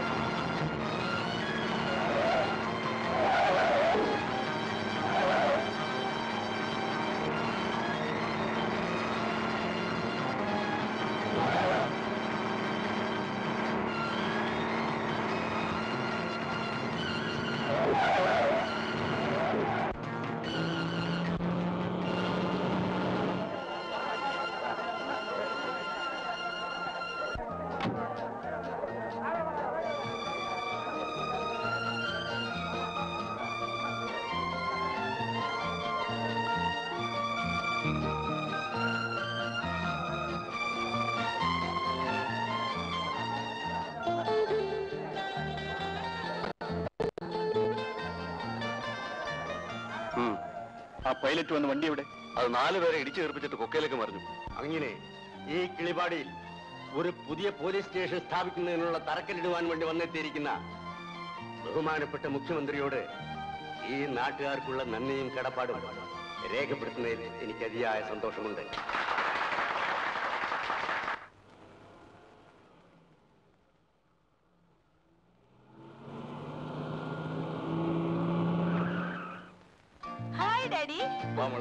മോളെ യാത്രയൊക്കെ സുഖമായിരുന്നോ? ഡാഡി എന്ത് എയർപോർട്ടിൽ വരാഞ്ഞത്? അതുകൊണ്ടല്ലേ തമ്പി വന്നത്. നിങ്ങൾക്കാവുമ്പോ എന്തെങ്കിലുമൊക്കെ മിണ്ടിയും പറഞ്ഞു വരാമല്ലോ. അതിനിടയ്ക്ക് ഞാനെന്തിനാ? വാ.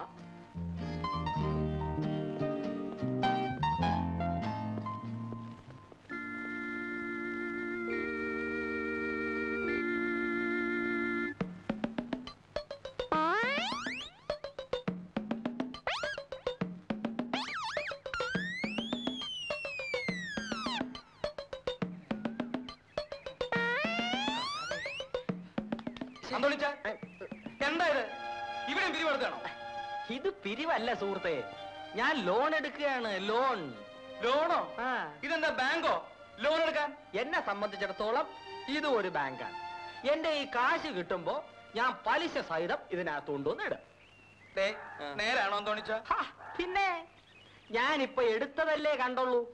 ഞാൻ കൊണ്ടുവന്ന് ഇടുന്നത് കണ്ടിട്ടുണ്ടോ? ഇല്ല കാണില്ല. കാരണം നിങ്ങൾ ആരും നല്ലത് കാണില്ല. ഒരുത്തന്റെ തെറ്റുകൾ മാത്രമേ കാണൂ.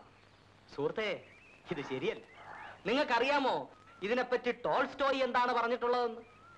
I wonders with countries see right and wrong oh man it is a wrong and right and right and wrong. Your eyes detest and you detest others I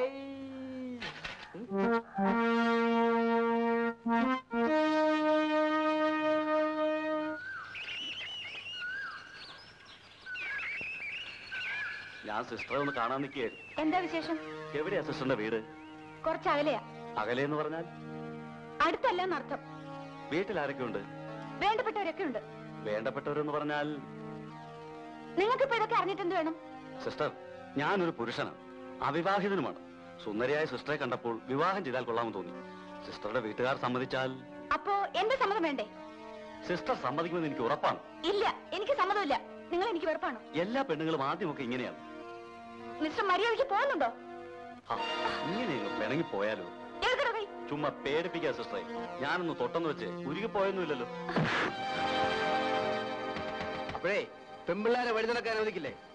അത് ചോദിക്കാം. നീ ആരാടാ? ഞാൻ ആരാണെന്ന് നിനക്ക് മനസ്സിലാക്കി തരണം?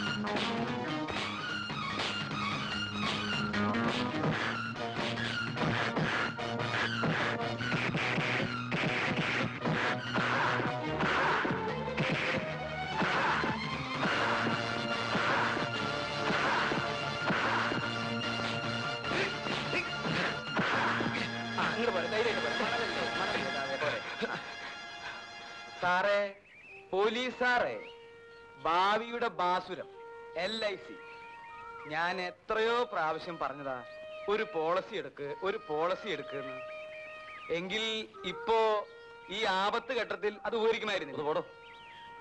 ഒരു പോളിസി എടുക്ക് സാറേ. താങ്കൾ പോകുന്നുണ്ടോ എന്നാ അങ്ങോട്ട് ചെല്ല്. ഇയാൾക്കൊക്കെ ധൈര്യമായിട്ട് എടുക്കാവുന്നതാ. കയ്യിലിരിപ്പ് അതല്ലേ. ഞാനിപ്പോ പറയാന്നല്ലാണ്ട് വേറെ എന്താ ചെയ്യാൻ പറ്റുക? പോലീസുകാരനുമായിട്ട് വഴക്കുണ്ടാക്കിയത് ശരിയായില്ലെങ്കിലും കാര്യങ്ങളൊക്കെ നേർവഴിക്ക് കൊണ്ടുവരാൻ അത് സഹായിച്ചു എന്നാ എന്റെ അഭിപ്രായം. സാറാമ്മയ്ക്ക് എന്ത് തോന്നുന്നു? എവർക്ക് രണ്ടുപേർക്കും ഇഷ്ടമാണെങ്കിൽ കല്യാണം കഴിച്ചു കൊടുക്കുന്നതിൽ എനിക്ക് സന്തോഷമേ ഉള്ളച്ചു. അത് ഞാനൊന്നറിയാതെങ്ങനെയാ ഇപ്പോഴേതായാലും അറിഞ്ഞില്ലേ? അമ്മച്ചി അറിയിക്കാൻ വേണ്ടി രണ്ടുപേരും കൂടി ആലോചിച്ച് കണ്ടുപിടിച്ച വിദ്യയില്ലേ ഇത്? പാവം പോലീസുകാരനെ അടിച്ച് പഞ്ചറാക്കി. ഏതായാലും സണ്ണിയും ലീലാമ്മയുള്ള വിവാഹത്തിന് എല്ലാവരും അനുകൂലമാണ്. ഇനി ലീലാമ്മയുടെ വീട്ടുകാരുടെ അഭിപ്രായം കൂടെ അറിയാനുള്ളൂ.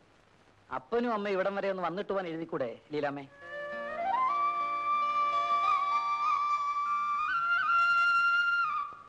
ബുദ്ധിമുട്ടാണെങ്കിൽ ഞാൻ എഴുതാം. അഡ്രസ് തന്നാ മതി. അത് വേണ്ടച്ചു ലീലാമ്മയുടെ അഡ്രസ് വാങ്ങിച്ച് ഞാൻ തന്നെ എഴുതാം. ശരി.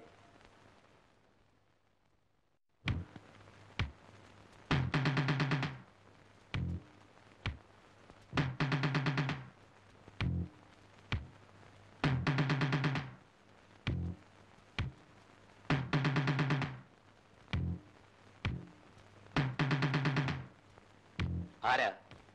എന്തു വേണം? ഞങ്ങൾ സെയിൽ ടാക്സ് ഉദ്യോഗസ്ഥന്മാരാ. നിങ്ങളുടെ ചില ഫയലുകൾ പരിശോധിക്കാനുണ്ട്. ആവശ്യം?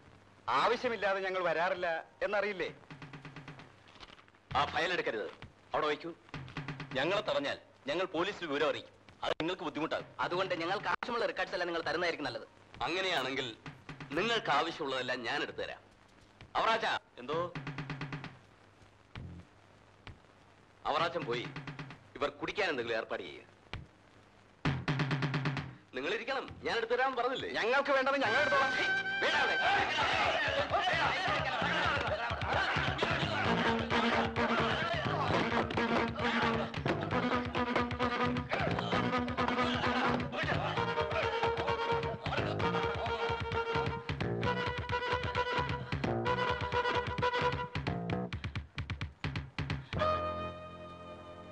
നിനക്കൊക്കെ എന്റെ ഫയൽ പരിശോധിക്കണം അല്ലടാ ഇതിനകത്ത് കിടന്ന് പരിശോധിക്ക്. ദൈവം ഇറങ്ങി വന്നാൽ പോലും നിനക്കൊന്നും രക്ഷപ്പെടാനാവില്ല. പച്ചവെള്ളം പോലും കൊടുത്തു പോരുത്.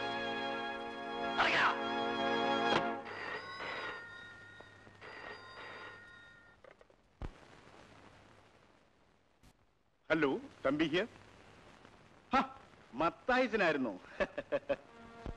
ഇതെന്ത് ചോദ്യമാണ് തമ്പി? ഇങ്ങനെ വരുന്നവരെ എന്ത് ചെയ്യണമെന്ന് എനിക്ക് നല്ലതുപോലെ അറിയാം. ഇല്ല എന്തായാലും വിടുന്നില്ല. അവന്മാർ അതിന്റെ അകത്ത് തന്നെ കിടക്കട്ടെ. എന്താണ് സംഭവിക്കുന്നതെന്ന് അറിയാമല്ലോ. കുടിക്കാൻ പച്ച വെള്ളം പോലും കൊടുക്കില്ല. മത്തായിയുടെ ഫയൽ പരിശോധിക്കാൻ വന്നിരിക്കുന്നു. നമ്മളെ ഇവിടെ ഇട്ട് കൊന്നുകളഞ്ഞാൽ എങ്ങനെ വെളിയിലറിയും? അടുത്തുള്ള പോലീസ് സ്റ്റേഷനിൽ നേരത്തെ അറിയിച്ചിട്ട് പോന്നാ മതിയായിരുന്നു. അത് വിശ്വസിക്കാൻ പറ്റില്ല. നമ്മൾ ഇവിടെ എത്തുന്നതിന് മുമ്പ് പോലീസ് വിവരം അറിയിച്ചാലോ? എങ്ങനെയെങ്കിലും വെളിയിൽ നിന്ന് ഈ വിവരം അറിയിച്ചേ പറ്റൂ. ഇല്ലെങ്കിൽ പട്ടിണിക്കിട്ട് തന്നെ നമ്മളെ കൊന്നുകളയും മണി രണ്ടായി. രാവിലെ ഒമ്പത് മണിക്ക് പിടിച്ചിട്ടാ അവറ്റകളെ. അതിനകത്ത് കിടന്ന് ചത്തുപോത്തേ ഉള്ളൂ. അതിന് നമുക്കെന്താ? ആ മുതലാളി നോക്കിക്കോളൂ ഒഴുക്കി.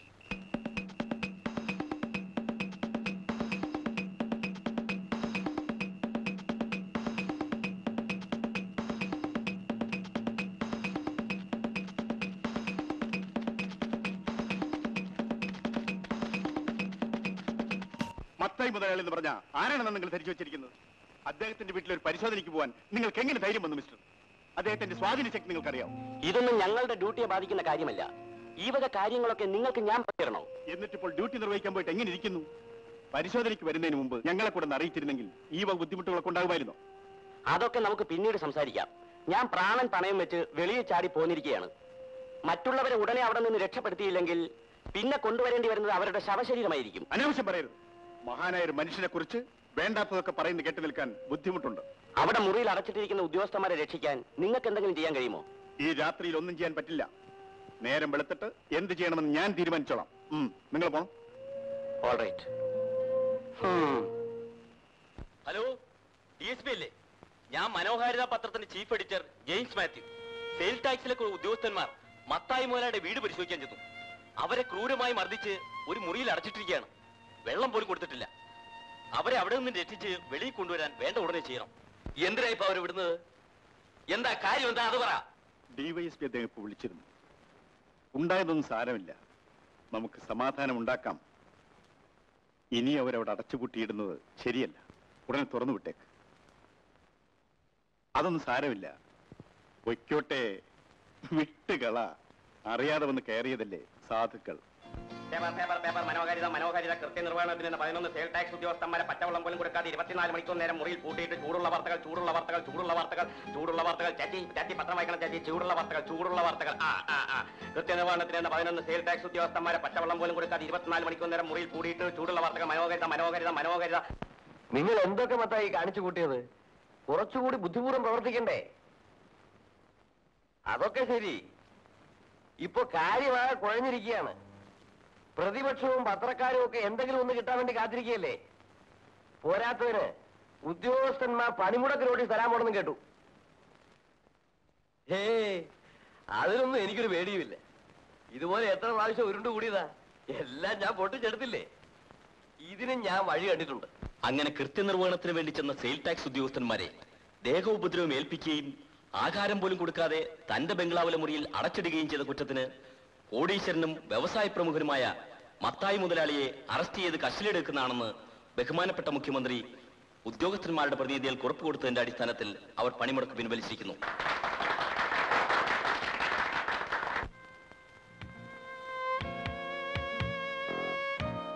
മജിസ്ട്രേറ്റിനെ നീ കണ്ടില്ലല്ലോ.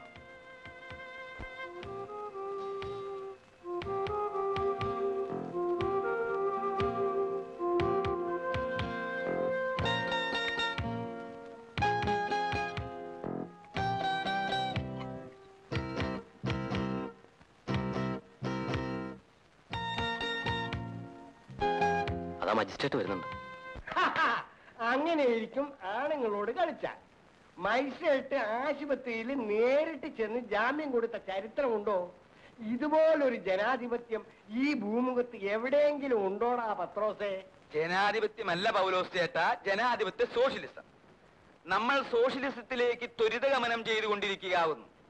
എന്നിട്ടും നമ്മുടെ മുക്കിനെ പറ്റി അപവാദം പറയുന്നവരെ തൊയ്ക്കണം. ഉദ്യോഗസ്ഥന്മാർക്ക് പരിശോധിക്കാൻ സ്വാതന്ത്ര്യം. മത്തായി മുതലാളിക്ക് അവരെ തൊഴിക്കാൻ സ്വാതന്ത്ര്യം ഇതെല്ലാം പൊട്ടിച്ചെടുക്കാൻ മുഖ്യമന്ത്രിക്ക് സ്വാതന്ത്ര്യം. ഇതല്ലേ യഥാർത്ഥ ജനാധിപത്യ സോഷ്യലിസം.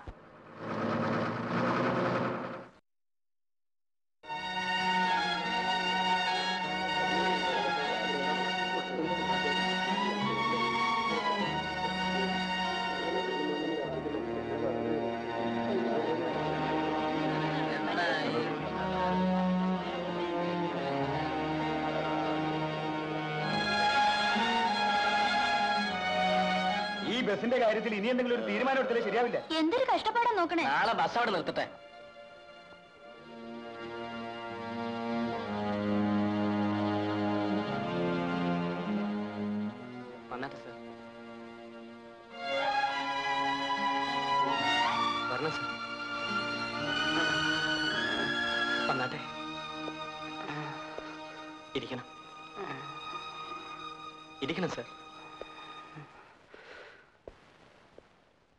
എപ്പോഴും പറയാറില്ലേ? ഈ പണി നിർത്തണം. തെറ്റല്ലേ ദോഷമല്ലേ എന്നൊക്കെ. സാറ് കണ്ടോ? എന്റെ അപ്പനാണ്. ഏഴ് വർഷമായി ഇതേ കിടപ്പിലാണ്.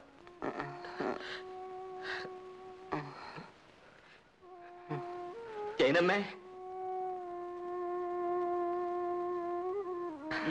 എന്റെ പെങ്ങളാ. വയസ്സ് ഇരുപതായി.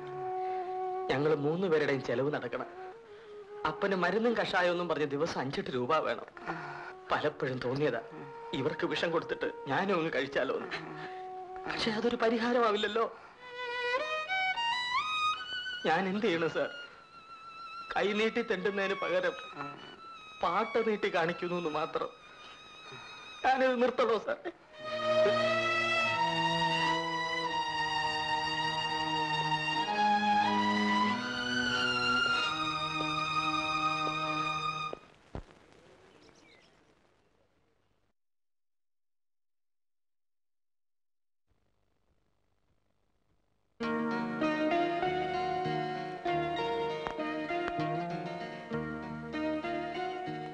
നിങ്ങളെന്താ ഇരിക്കുന്നത്? ഇറങ്ങാൻ വണ്ടി തിരിച്ചിട്ടെ? വണ്ടി തിരിക്കാൻ പറ്റില്ല. അതെന്താ തിരിച്ചാ? ഞങ്ങളെ കിളിവാടി വരെ ടിക്കറ്റ് എടുത്തിട്ടുണ്ട്. ഞങ്ങൾ അവിടെ കൊണ്ട് ഇറക്കിയിട്ട് തിരിച്ചാ മതി. വണ്ടി കിളിവാടി വരെ പോകത്തില്ലെന്ന് അറിയില്ലേ? എങ്കിൽ പിന്നെ അവിടം വരെയുള്ള ചാർജ് മേടിച്ചെന്തിനാ ഇതെന്താ പുതിയ ഏർപ്പാടാണോ? അങ്ങനല്ലായിരുന്നു പതിവ്. എന്തായാലും ഇന്ന് മുതൽ ഏർപ്പാട് വേണ്ട. കിളിവാടിയിൽ തന്നെ ഞങ്ങൾ ഇറങ്ങുന്നുള്ളൂ.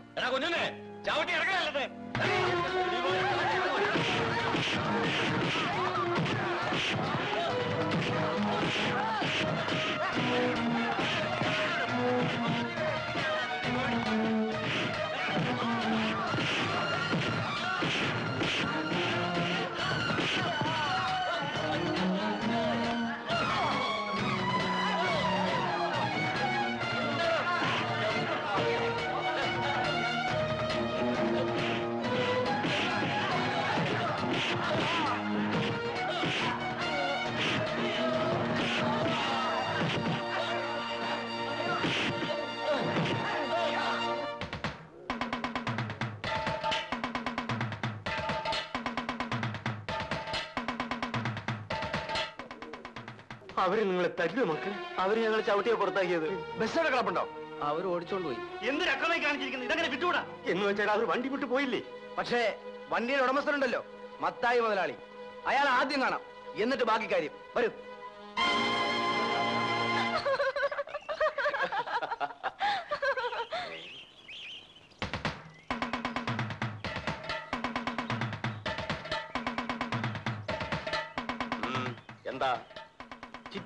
കണ്ടോ?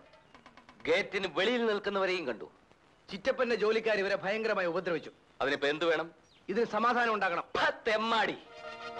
നീ എന്നെ കൂടെ സമാധാനം പറയിക്കാൻ വന്നിരിക്കുന്നതാ എടാ രൂപ മുടക്കി ബസ് വായിച്ചിട്ടിരിക്കുന്നത് ഞാനാ. എന്റെ ബസ്സേ കയറി ധിക്കാരം കാണിച്ചാൽ അടിച്ച് അസ്ഥി ഓടിച്ചു കളയും. ഇനി അടിക്കും. ഇനിയത്തെ കാര്യം അന്നേരം പറഞ്ഞാൽ മതിയല്ലോ. ഇപ്പോഴത്തെ കാര്യം പറയും. ഇവരെന്ത് ധിക്കാരം കാണിച്ചതാ നിങ്ങൾ പറയുന്നത്? എടാ എന്റെ ബസ് എങ്ങനെ ഓടണമെന്നും എവിടെ വരെ ഓടണമെന്നും തീരുമാനിക്കുന്നത് ഞാനാ. അല്ലാതെ അതിൽ നിൽക്കുന്ന ചെറ്റകളല്ല.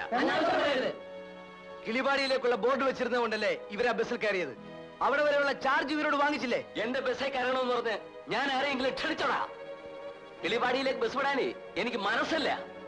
എടാ ഞാൻ ഈ ബസ് സർവീസ് നടത്തിയില്ലായിരുന്നെങ്കിൽ ഇവനൊക്കെ ഈ കാട്ടിൽ തന്നെ കിടക്കണ്ടേ?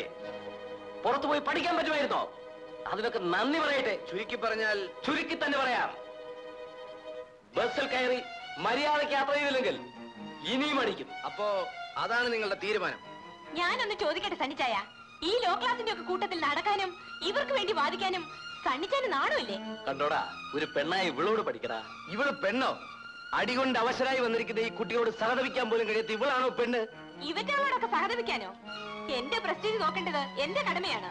പ്രസ്റ്റേജ് എന്ന് പറഞ്ഞാൽ വിവരദോഷം നല്ല പെണ്ണെ അർത്ഥം. മറ്റുള്ളവരെ സ്നേഹിക്കുകയും ബഹുമാനിക്കുകയും ചെയ്താൽ അത് തിരിച്ച് ഇങ്ങോട്ടും കിട്ടും. അതാണ് ഏറ്റവും വലിയ പ്രസ്റ്റേജ് നീ ഏതോ പട്ടണത്തിൽ പോയി എന്തൊക്കെയോ കാറത്തരങ്ങളും പഠിച്ചിട്ട് വന്നിരിക്കുന്നു. എന്നിട്ട് പ്രസ്റ്റേജ് പോലും പ്രസ്റ്റേജ് ഇറങ്ങി പോടാ. ഞാൻ നേരത്തെ ഇവിടെ ഇറങ്ങിയവനാണ്. ഈ ഒരു കാര്യമല്ലായിരുന്നു എനിക്ക് വീണ്ടും വരില്ലായിരുന്നു. ഇതൊരു സമാധാനം ഉണ്ടാക്കാമെന്ന് ഞാൻ നോക്കട്ടെ? വരും. എന്ത് അക്രമം കാണിച്ചാലും പണം സമ്പാദിച്ചു കൂട്ടണമെന്ന് ആഗ്രഹിക്കുന്ന ചിലരുണ്ട്. അവരെ പറഞ്ഞു തിരുത്താൻ ബുദ്ധിമുട്ടാണ് മത്തായി ആണെങ്കിൽ ഒരു പ്രത്യേക തരക്കാരനാണ് എല്ലാം അറിഞ്ഞുകൊണ്ട് തന്നെയാണ് ചോ പോയത്. എന്ത് കാര്യത്തിനായാലും ഈ പ്രായത്തിലുള്ള കുട്ടികളോട് ഇങ്ങനെ ചെയ്യാവോ? അതിന് മാപ്പ് വരണമെന്നൊന്നും പറഞ്ഞില്ല. ഒന്ന് സഹതപിക്കെങ്കിലും ചെയ്തുകൂടെ ആ മനുഷ്യന്? ശരി. ഏതായാലും ഞാൻ മത്തായിയോട് സംസാരിച്ചു നോക്കട്ടെ. അതുവരെ നിങ്ങൾ സമാധാനമായിട്ടിരിക്കണം. ഇവിടെ ഇപ്പൊ എന്തുണ്ടായെന്ന് അച്ഛൻ പറയണേ? വണ്ടിയൊക്കെ എറിയുന്ന ധിക്കാരം കാണിച്ചു. അടി കൊടുത്ത് ഇറക്കി വിട്ടു. കൊണ്ടോണ്ട് വീട്ടിൽ പോണം.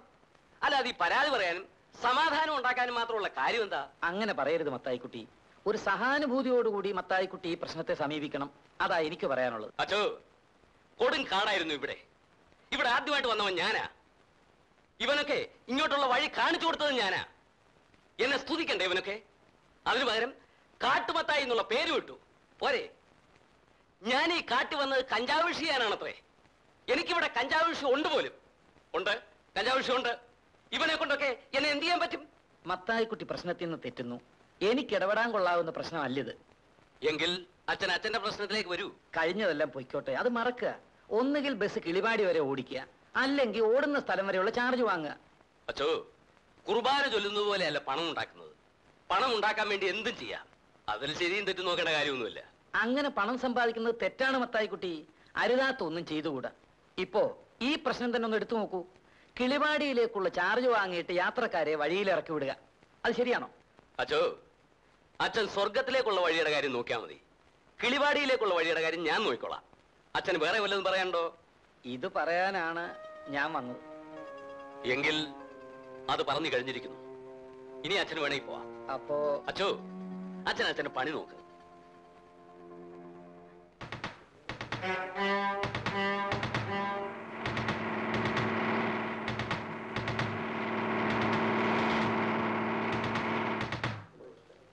ആ ടിക്കറ്റ് എടുത്തിട്ടുള്ളവരെല്ലാം ബസ്സിൽ തന്നെ ഇരുന്നാൽ മതി. ഈ ബസ് കിളിവാടിലേക്ക് പോകുന്നുണ്ട്. എന്ന് ആര് പറഞ്ഞു? ആ നിങ്ങളകത്ത് പോയിരിക്കണം. ബസ് കിളിവാടിൽ ചെന്ന് നിൽക്കും. എങ്കിൽ അത് തന്നെ കാണണമല്ലോ. കാണാനൊന്നുമില്ല. ബസ് ഞങ്ങൾ കൊണ്ടുപോകും. മര്യാദയ്ക്ക് മാറി നിൽക്കുന്നതാണ് നല്ലത്. പിന്നെ കൊണ്ടുപോകും. ഞങ്ങൾ കയ്യും കെട്ടി നിന്ന് തരാം.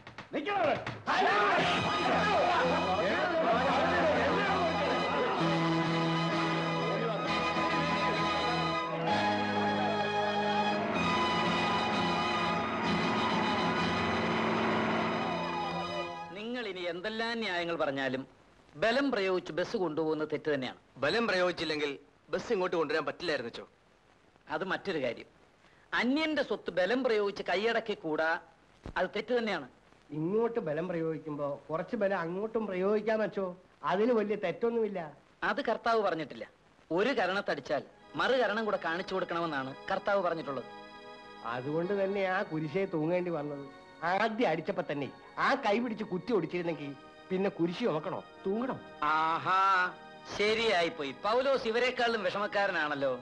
കർത്താവ് പറഞ്ഞത് കർത്താവിൽ വിശ്വസിക്കുന്നവർക്ക് വേണ്ടിയാണച്ചോ. കാട്ടുമത്തായിമാർക്കൊക്കെ കർത്താവുണ്ടോ കുരിശുണ്ടോ പള്ളിയുണ്ടോ വട്ടക്കാരുണ്ടോ? അവർക്ക് എല്ലാറ്റിലും വലുത് കാട്ടുതടി വെട്ടലും കഞ്ചാവ് കൃഷിയുമാണച്ചോ. അച്ഛൻ പൊറുക്കണം.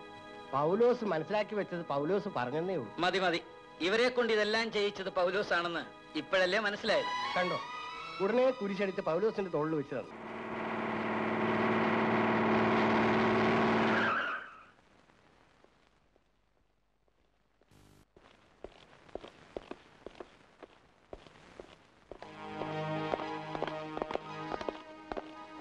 എന്താ? എന്തു പറ്റി?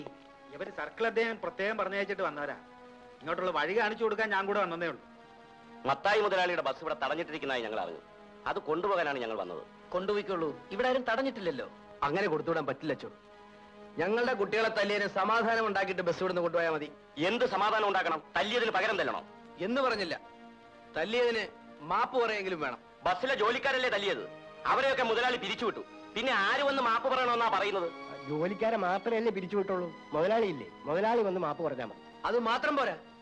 ഇനി മുതൽ ബസ് കിളിവാടി വരെ ഓടിക്കാമെന്ന് ഉറപ്പും തരണം. ഈ രണ്ട് ആവശ്യങ്ങളും വെറും ന്യായം മാത്രമാണെന്നാ എന്റെ അഭിപ്രായം. പക്ഷെ അത് നടക്കുന്ന കാര്യമാണോ പരമാനന്ദം പിള്ള ചേട്ടാ? അത് നടന്നില്ലെങ്കിൽ ബസ് കൊണ്ടുപോകുന്ന കാര്യം നടക്കില്ല. ഈ കാര്യത്തിൽ അത്ര വലിയ വാശിയൊന്നും കാണിക്കണ്ട സണ്ണി. അവർ ബസ് കൊണ്ടുപോയിക്കോട്ടെ. അച്ഛൻ ഇങ്ങനെ പറയുന്നതിൽ സങ്കടമുണ്ടച്ചോ? കിളിപാടി വരെയുള്ള ചാർജ് വാങ്ങിയിട്ട് യാത്രക്കാരെ ഇടയ്ക്കിറക്കി വിടുന്നതും പോരാ. നമ്മുടെ കുട്ടികളെ തല്ലി കേടുവരുത്തുകയും ചെയ്തു. അതിനൊന്നും ഒന്ന് മാപ്പ് പറയാൻ പോലും തയ്യാറാകാത്ത ഒരാളുടെ മുൻപിൽ ഞങ്ങളൊക്കെ തോറ്റു കൊടുക്കണമെന്ന് അച്ഛനെ പോലെ ഒരാൾ പറയരുത്. എല്ലാറ്റിനും ഒരു ന്യായമില്ലച്ചോ അച്ഛൻ എന്ത് പറയുന്നു? ഇവർ പറയുന്നതിൽ അന്യായമായിട്ട് എന്തെങ്കിലും ഉണ്ടെന്ന് എനിക്ക് തോന്നുന്നില്ല. അപ്പോ പിന്നെ നിർബന്ധിച്ച് ഇവരെ അനുസരിപ്പിക്കുന്നത് ബുദ്ധിമുട്ടുള്ള കാര്യമല്ലേ? ചുരുക്കി പറഞ്ഞാൽ മത്തായി മുതലാളി ഇവിടെ വന്ന് മാപ്പ് പറഞ്ഞ് ഉറപ്പ് തന്നാലേ ബസ് വിട്ടു തരൂ. അല്ലേ? അതെ. അല്ലാതെ ഞങ്ങൾ ബസ് വിട്ടു തരില്ല ശരി ഞങ്ങൾ അവിടെ ചെന്ന് പറയാം. വളരെ ചെറിയ കാര്യമാണ്. മത്തായി ഒന്ന് ഇവിടം വരെ വന്നു പോയാൽ കാര്യം തീർന്നു. ഇവിടെ പറഞ്ഞത് ഞങ്ങൾ അവിടെ ചെന്ന് പറയാച്ചോ വരട്ടെ! ഞാൻ ചെന്ന് അവരോട് മാപ്പ് പറയണോ? അതിന് ഞാൻ നീ രണ്ടാ ഒന്നുകൂടി ജനിക്കണം. ഞാൻ പണം മുടക്കി വാങ്ങിയ ബസ്സാണെങ്കിൽ ഞാൻ അത് കൊണ്ടുവരും. ഇല്ലെങ്കിൽ ഈ രാജ്യത്ത് സർക്കാരും പോലീസും എന്തിനാണ്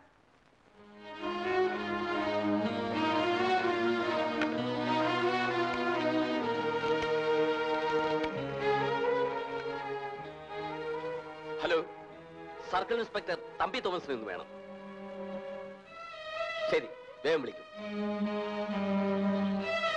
ഹലോ തമ്പിയല്ലേ? ഞാൻ മത്തായി. ഞാൻ അവിടെ ചെന്ന് മാപ്പ് പറയാതെ അവർ ബസ് വിട്ടുതരില്ല അത്രേ ആ ബസ് കൊണ്ടുവരാൻ പോയ പോലീസുകാർ തിരിച്ചു വന്നു.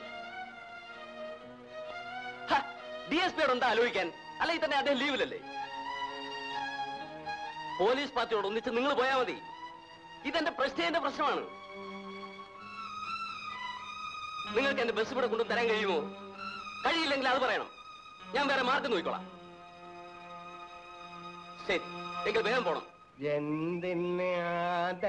നിന്നെ ഞാൻ തോട്ടത്തിലാക്കി? തോട്ടം രക്ഷിപ്പാനോ കായികനികൾ ഭക്ഷിപ്പാനോ? മോളെ മോളമ്മേ. എന്താ അപ്പച്ച? മോളമ്മ വാ. ക്ലാരമ്മ എവിടെ? ഞാൻ എവിടെ പോവാനാ? ആ ബാ ബാ ക്ലാരമ്മ ഇവിടെ. മോളമ്മ ഇവിടെ താരമ്മേ നീ എത്ര നാളായി എന്നോട് റേഡിയോ വേണോന്ന് പറയുന്നു? ദാ പിടി. എപ്പടി? ഇപ്പോഴെങ്കിലും നിന്റെ കെട്ടിയോനെ നിനക്ക് മനസ്സിലായല്ലോ. അല്പം താമസിച്ചാണെങ്കിലും വാങ്ങിച്ചു തരാമെന്ന് പറഞ്ഞാൽ വാങ്ങിച്ചു തരും. ആ മോളെ ദാ. നിനക്ക് ഇഷ്ടമുള്ള കല്ലുമ്മക്കായ. അപ്പച്ചൻ ഷാപ്പിൽ ചെന്നപ്പോ ദാ അവിടെ ഇരിക്കും പൊതിയടാ ഒരു പൊതി എന്ന് പറഞ്ഞു. ദാ പിടി. എപ്പടി? ആ ക്ലാരമ്മേ. ആ അത് പറയാൻ ഞാൻ അങ്ങ് മറന്നു. ഈ വരുന്ന ഞായറാഴ്ച മോളെ പെണ്ണ് കാണാൻ അവരൊക്കെ വരുന്നുണ്ടെന്ന്. ഇത് പറയാൻ വേണ്ടി അറപ്പിൽ അവസരപ്പച്ചൻ ഷാപ്പിൽ വന്നു. സന്തോഷമുള്ള കാര്യമാണല്ലോ എന്ന് വിചാരിച്ച് ഞാൻ അവനും വാങ്ങിച്ചു കൊടുത്തു ഒരു കുപ്പി. എപ്പടി? തന്നെ.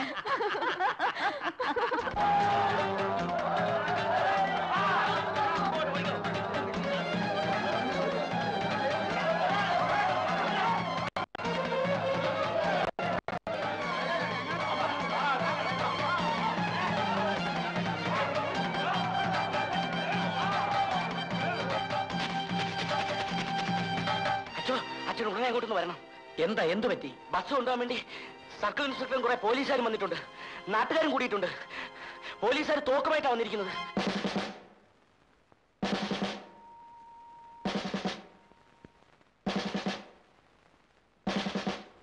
എന്താ എന്താ സാർ? ഞങ്ങൾ ഈ ബസ് കൊണ്ടുപോകുമെന്നതാണ് അച്ഛൻ ഇക്കാര്യത്തിൽ എന്തെങ്കിലും ചെയ്യാൻ കഴിയുമെങ്കിൽ ഉടനെ ചെയ്യണം. പത്ത് മിനിറ്റ് സമയം ഞാൻ തരുന്നു. അത് കഴിഞ്ഞാൽ ബസ് ഞാൻ കൊണ്ടുപോകും. അതിനുള്ള എല്ലാ ഫോഴ്സോടും കൂടിയാണ് ഞങ്ങൾ വന്നിരിക്കുന്നത്. ഇവരുടെ കയ്യിലുള്ള തോക്ക് കണ്ടല്ലോ? ഇത് കളിത്തോക്കല്ല അത് മറക്കാതിരുന്നാൽ നന്ന്. ശരി ഞാൻ ഇവരോടൊന്ന് സംസാരിക്കട്ടെ.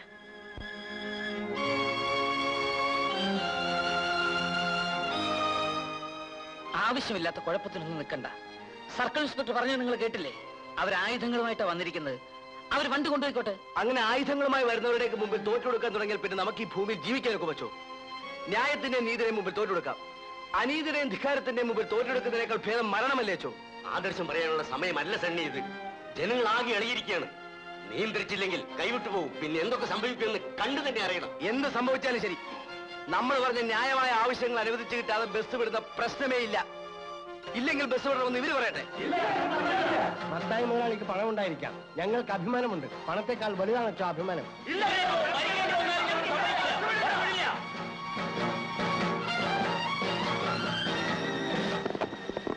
ഇതാ പത്ത് മിനിറ്റ് കഴിഞ്ഞിരിക്കുന്നു.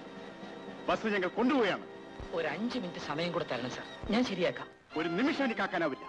ബസ് കൊണ്ടുപോകാന്ന് ഞാൻ നോക്കട്ടെ. സാർ ഞങ്ങൾ ഇവരോട് സംസാരിച്ച് കഴിഞ്ഞിട്ടില്ല. അല്പസമയം കൂടെ.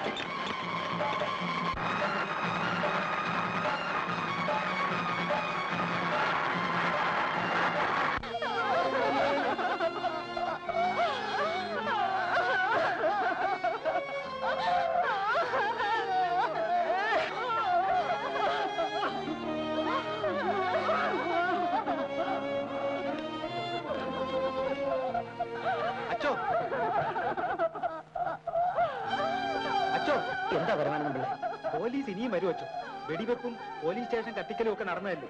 ഇനി ഇതിന്റെ പേരിൽ കേസെടുക്കലും വാർഡ് പരിശോധനയും ഒക്കെ ഉണ്ടാവും. ആണുങ്ങളെല്ലാം വീട്ടിൽ നിന്ന് ഒഴിഞ്ഞു നിൽക്കാൻ പറയണം.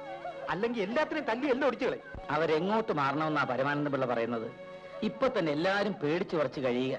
ഇതിനിടയ്ക്ക് വീട്ടിൽ നിന്നുകൂടെ മാറി താമസിക്കണമെന്ന് എങ്ങനെ പറയാ മാറിയില്ലെങ്കിൽ ആപത്തണച്ചു എനിക്കറിയാവുന്ന കാര്യം ഞാൻ പറഞ്ഞതേ ഉള്ളൂ. ഏതായാലും ഞാനിവിടെ നിൽക്കുന്ന അത്ര ശരിയല്ല. വരട്ടേച്ചു മാറി.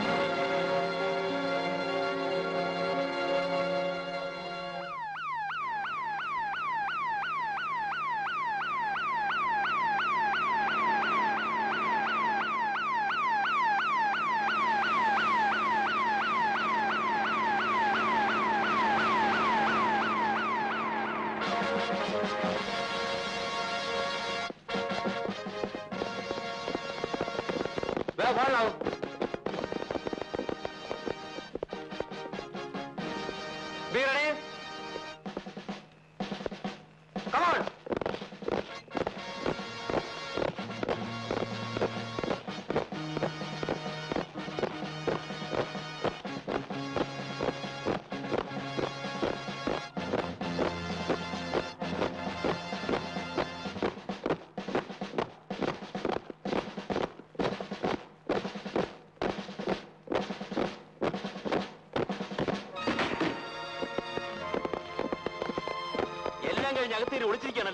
ഒളിച്ചിരിക്കുന്നു അതിന്റെ ആവശ്യം? ഇവിടെ ആരൊക്കെയുണ്ട്?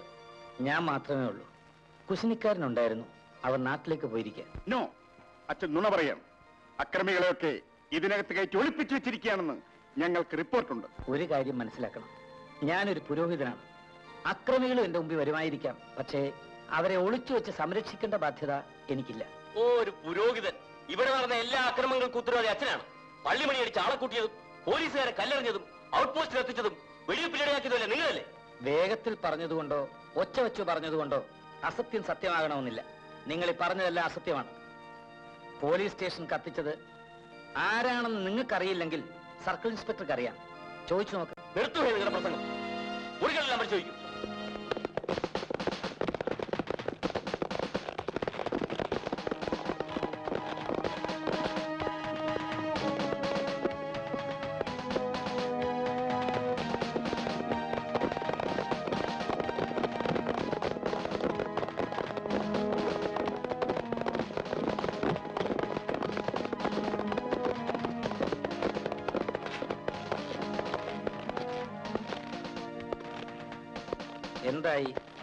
എത്ര പേരെ കിട്ടി? വെല്ലുവിളിയാണല്ലേ. എത്ര പേരെ കിട്ടുമെന്ന് കാണിച്ചു തരാം.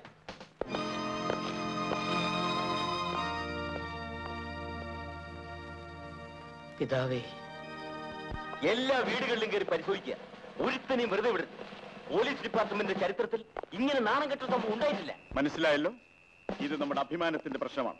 ഇതിന്റെ പേരിൽ എന്ത് വന്നാലും നിങ്ങൾക്ക് ഒരു കുഴപ്പവും വരില്ല. പോലീസിനോട് കളിച്ചാൽ ഇങ്ങനെ ഇരിക്കുമെന്നും ഇവിടത്തുകാർ മാത്രമല്ല എല്ലാവരും അറിയട്ടെ. യാതൊരു മനസാക്ഷി കുത്തും വേണ്ട. ശക്തമായി നേരിടുക. പൊയ്ക്കോളൂ.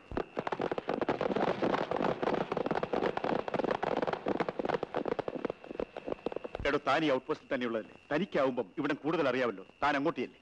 ഒറ്റയെണ്ണം രക്ഷപ്പെട്ടു പോകരുത്. പൊയ്ക്കോ.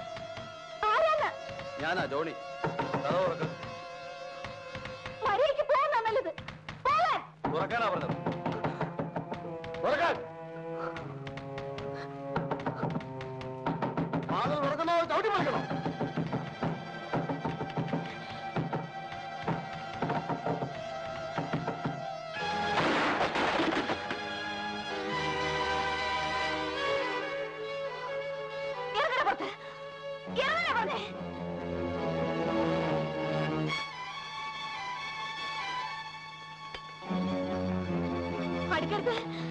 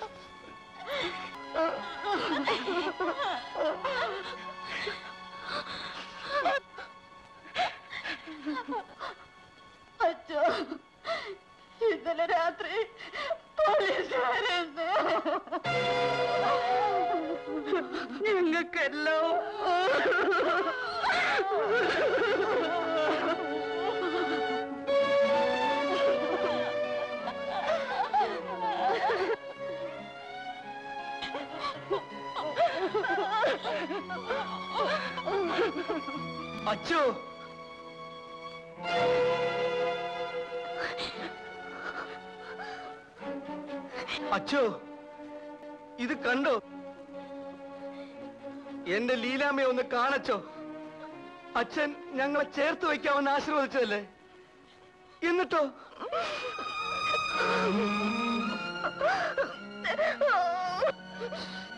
മനസ്സമ്മതം കഴിഞ്ഞ് നിൽക്കുന്ന എന്റെ പൊന്നു പെങ്ങൾ.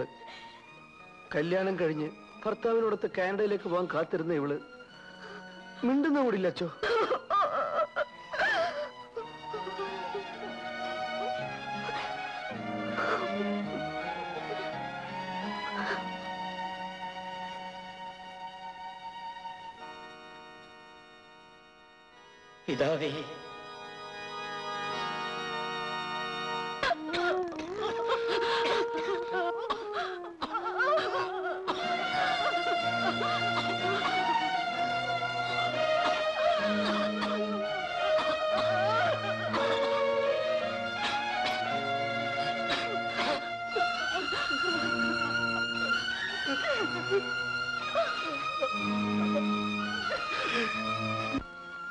ഒരു സംഭവം. ലോകത്തൊരിടത്തും നടക്കരുതെന്നാണ് എന്റെ പ്രാർത്ഥന.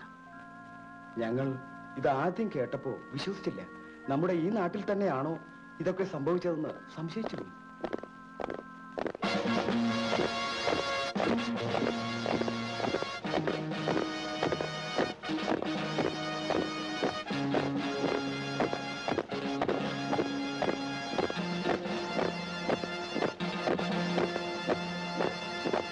അച്ചോ എന്നെ മനസ്സിലായോ? ഞാൻ D I G Thomas Mathew. ഇനിയും എന്താണാവോ? വെടികൊണ്ട് മരിച്ച പൗലോസിന്റെ മൃതദേഹം അദ്ദേഹത്തിന്റെ വീട്ടിൽ എത്തിച്ചിട്ടുണ്ട്. ആ പിന്നെ പോലീസ് സ്റ്റേഷൻ കത്തിക്കുകയും പോലീസുകാരെ ഉപദ്രവിക്കുകയും ചെയ്തതിന്റെ പേരിൽ ഈ നാട്ടുകാരുടെ പേരിൽ ചില കേസുകളുണ്ട്. അതിനായി ചിലരെ കസ്റ്റഡിയിൽ എടുക്കുകയും ചോദ്യം ചെയ്യുകയും വേണം.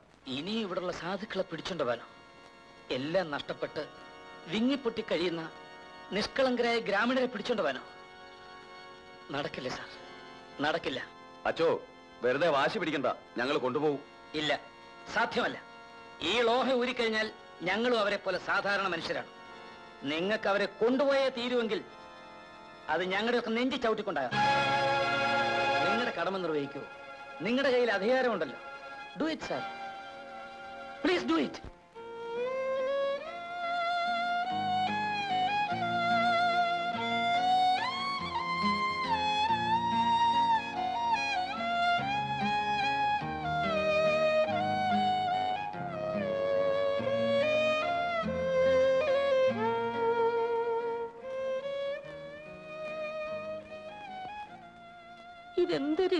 മോളെ.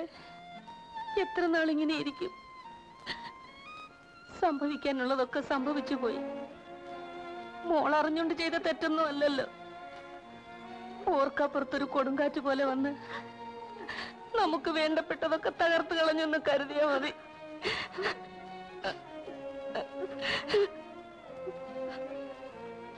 വാ എന്റെ പൊന്നു മോൾ വാ വന്നിച്ചിട്ട് കഞ്ഞി കുടിക്കേ. അതെന്ത് കുന്തമെങ്കിലും ആകട്ടെ. ഈ പത്രക്കാരും പടമെടുപ്പുകാരും എല്ലാരും കൂടെ ഇറങ്ങിയിരിക്കല്ലേ?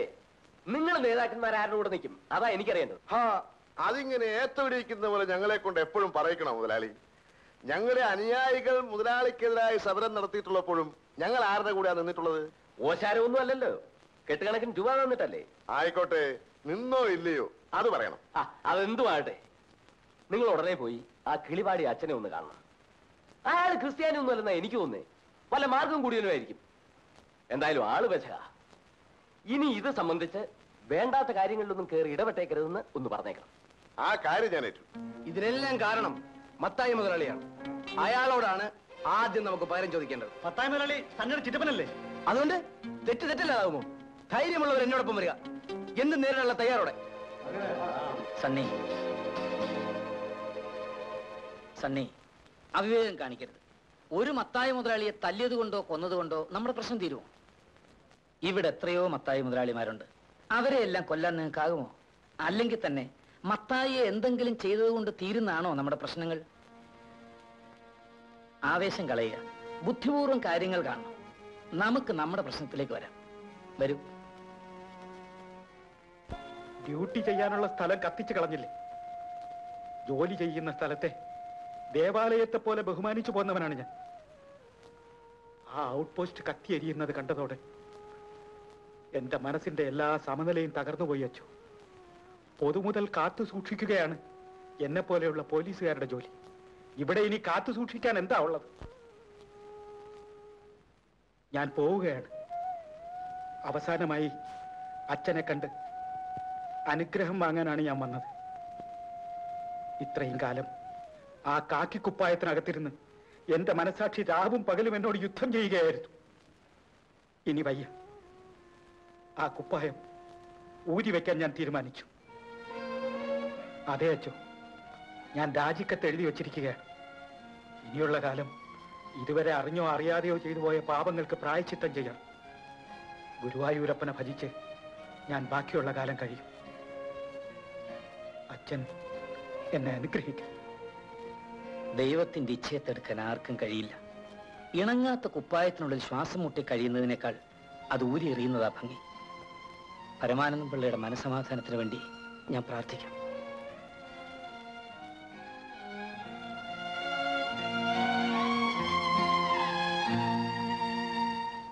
കിളിപാടിയിൽ നടന്ന പോലീസ് വെടിവെപ്പിനെ കുറിച്ചുള്ള പ്രതിപക്ഷത്തിന്റെ അടിയന്തര പ്രമേയത്തിന് സ്പീക്കർ അനുമതി നിഷേധിച്ചു.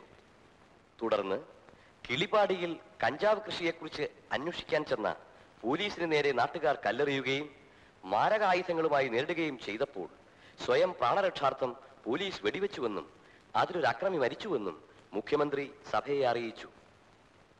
സാധുക്കളായ നാട്ടുകാരെ കഞ്ചാവ് കൃഷിക്കാരാക്കിയതിലും അക്രമികളാക്കിയതിലും പ്രതിഷേധിച്ച് പ്രതിപക്ഷം ഒന്നടങ്കം സഭയിൽ നിന്നും വാക്കൌട്ട് നടത്തി. അസംബ്ലിയിൽ അങ്ങനെ പലതും നടക്കും. നമ്മൾ അത് കാത്തിരുന്നിട്ട് കാര്യമില്ല. ഇതിനൊരു പരിഹാരം ഉണ്ടാകണമെങ്കിൽ നമ്മൾ തന്നെ ഇറങ്ങിത്തിരിക്കണം. എന്റെ അഭിപ്രായം തന്നെയാണ് ഇവിടെ രാഷ്ട്രീയക്കാർ വരുന്നുണ്ട് സാമൂഹ്യ പ്രവർത്തകർ വരുന്നുണ്ട് പത്രക്കാർ വരുന്നുണ്ട് പടവെടുക്കുന്നുണ്ട് അങ്ങനെ പലതും നടക്കുന്നുണ്ട്. പക്ഷേ ഇങ്ങനെ ഒരു സംഭവം നടന്നതായിട്ട് ഇവിടുത്തെ പോലീസ് മന്ത്രി കൂടിയായ മുഖ്യമന്ത്രി അംഗീകരിച്ചിട്ടില്ല. അദ്ദേഹം ഈ പ്രദേശത്തെ കഞ്ചാവ് കൃഷിക്കാരുടെയും അക്രമികളുടെയും നാടായി കാണുകയാണ്. ആ സ്ഥിതിക്ക് ഇവിടുത്തെ സത്യാവസ്ഥ അദ്ദേഹത്തെ ബോധ്യപ്പെടുത്തേണ്ടത് നമ്മുടെ കടമയാണ്. നമുക്ക് പോകാൻ പറ്റും. രണ്ടുപേർക്കും കൂടെ പോയി അദ്ദേഹത്തെ നേരിട്ട് കണ്ട് കാര്യങ്ങൾ ബോധ്യപ്പെടുത്താം. പറഞ്ഞാ മനസ്സിലാവാതിരിക്കോ? മനുഷ്യരല്ലേ. ശരി. എന്നാൽ അങ്ങനെ തന്നെ ആകട്ടെ. ഏതായാലും ഞങ്ങൾ മുഖ്യമന്ത്രി ഒന്ന് കണ്ടു. കീഴിലുള്ള പോലീസ് അർദ്ധരാത്രി ഞങ്ങളുടെ ഗ്രാമത്തിൽ വന്ന് ഒരുപാട് അക്രമങ്ങളൊക്കെ കാണിച്ചു. പാവപ്പെട്ടവരും പ്രായം ചെന്നവരുമായ ഒരുപാട് നിരപരാധികളെ തല്ലിച്ചതയ്ക്കുകയും നിരാലംബരായ പെൺകുട്ടികളെ ക്രൂരമായി ബലാത്സംഗം ചെയ്യുകയും. ലജ്ജയില്ലേ നിങ്ങൾക്കിത് പറയാൻ? നിങ്ങളൊരു പുരോഹിതനല്ലേ? നിങ്ങൾ തന്നെ ഇങ്ങനെ അപവാദങ്ങൾ പ്രചരിപ്പിച്ചാൽ ആ ഗ്രാമത്തിലെ പെൺകുട്ടികളെ വിവാഹം ചെയ്യാൻ ആരെങ്കിലും അങ്ങോട്ട് വരുമോ? പക്ഷേ അങ്ങയുടെ പോലീസ് ചെയ്ത അക്രമങ്ങൾ അങ്ങയോടെങ്കിലും ഞങ്ങൾക്കൊന്ന് പറയണ്ടേ? അതെല്ലാം നിങ്ങളുടെ തെറ്റിദ്ധാരണയാണ് ഫാദർ. എന്റെ പോലീസുകാർ ഒരിക്കലും അങ്ങനെ ചെയ്യില്ല. തെറ്റിദ്ധാരണ സർ. ഞങ്ങൾ നേരിട്ട് അറിഞ്ഞ കാര്യമാണ്. നേരിട്ടറിഞ്ഞു എങ്ങനെ അറിഞ്ഞു? നിങ്ങളെ അവർ ബലാത്സംഗം ചെയ്തു? വല്ല മാനസിക രോഗികളും പറഞ്ഞുള്ള അറിവായിരിക്കും. താങ്കൾ ഇങ്ങനെ സംസാരിക്കുന്ന വേദനാജനകമാണ്. ആ രാത്രിയിൽ പാഞ്ഞുപോയ പോലീസ് വണ്ടികളുടെ ശബ്ദം. ഓരോ വീട്ടിൽ നിന്ന് ഉയർന്നു കെട്ട നിലവിളികൾ. പിറ്റേന്ന് രാവിലെ ആ പാവം പെൺകുട്ടികൾ എല്ലാവരും കൂടി പള്ളിയിൽ വന്നു നിന്ന് കരഞ്ഞ കരച്ചിൽ. ഇതെല്ലാം കേട്ടപ്പോഴുണ്ടായ ഞെട്ടലിനേക്കാൾ ഞാനിപ്പോ ഭയപ്പെടുന്നു. ഇത്ര ഭീകരമായ ഈ അവസ്ഥയോട് താങ്കളും താങ്കളുടെ പോലീസും കാണിക്കുന്ന ഉദാസീനത കണ്ടിട്ട് നിങ്ങളുടെയൊക്കെ ഭരണത്തിന് കീഴിൽ കഴിയേണ്ടി വന്ന ഒരുവനാണല്ലോ ഞാനും എന്ന് ഓർക്കുമ്പോ അവിടെ നടന്നതിന്റെ എല്ലാ റിപ്പോർട്ട് എന്റെ കയ്യിലുണ്ട്. ആൾക്കാരെല്ലാം കൂടി പോലീസിനെ കല്ലെറിയുകയും ബസ് തല്ലി തകർക്കുകയും പോലീസ് സ്റ്റേഷൻ തീവയ്ക്കുകയും ഒക്കെ ചെയ്തിട്ട് പരാതി പോലീസിന്റെ പേരിലോ? ഇത് എവിടത്തെ മര്യാദയാണ്? ബസ് തല്ലി തകർത്തതും പോലീസ് സ്റ്റേഷൻ തീ വെച്ചതും ഒക്കെ പോലീസുകാർ തന്നെയാണ് സർ അനാവശ്യം പറയരുത്. പോലീസുകാർ പറഞ്ഞ കാര്യമാണിത്. ശുദ്ധ അസംബന്ധം. മിസ്റ്റർ വട്ടപ്പാറ എന്താ ഒന്നും പറയാത്തത്? ഇവർ പറയുന്നുണ്ടല്ലോ സർ ഇടക്കേറി പറയേണ്ടത് കരുതി. താങ്കളോട് കൂടുതൽ സംസാരിച്ചിട്ട് പ്രയോജനമുണ്ടെന്ന് തോന്നുന്നില്ല. ഞങ്ങൾ പോകുന്നു. അങ്ങനെ നമ്മുടെ ദുഃഖങ്ങൾക്കും പരാതികൾക്കും ഒരു പരിഹാരം കണ്ടെത്തുന്നതിന് വേണ്ടി മുഖ്യമന്ത്രിയെ കാണാൻ പോയ ഞങ്ങൾക്കുണ്ടായ അനുഭവം തികച്ചും വേദനാജനകമായിരുന്നു. അദ്ദേഹം പ്രശ്നങ്ങളെ സമീപിച്ചത് തന്നെ മുൻവിധിയോടുകൂടെ ആയിരുന്നു എന്ന് ഞങ്ങൾക്ക് മനസ്സിലായി. അങ്ങനെയുള്ളൊരു മുഖ്യമന്ത്രിയിൽ നിന്ന് നമുക്കൊരിക്കലും നീതി ലഭിക്കില്ലെന്നും ഞങ്ങൾക്ക് ബോധ്യമായി.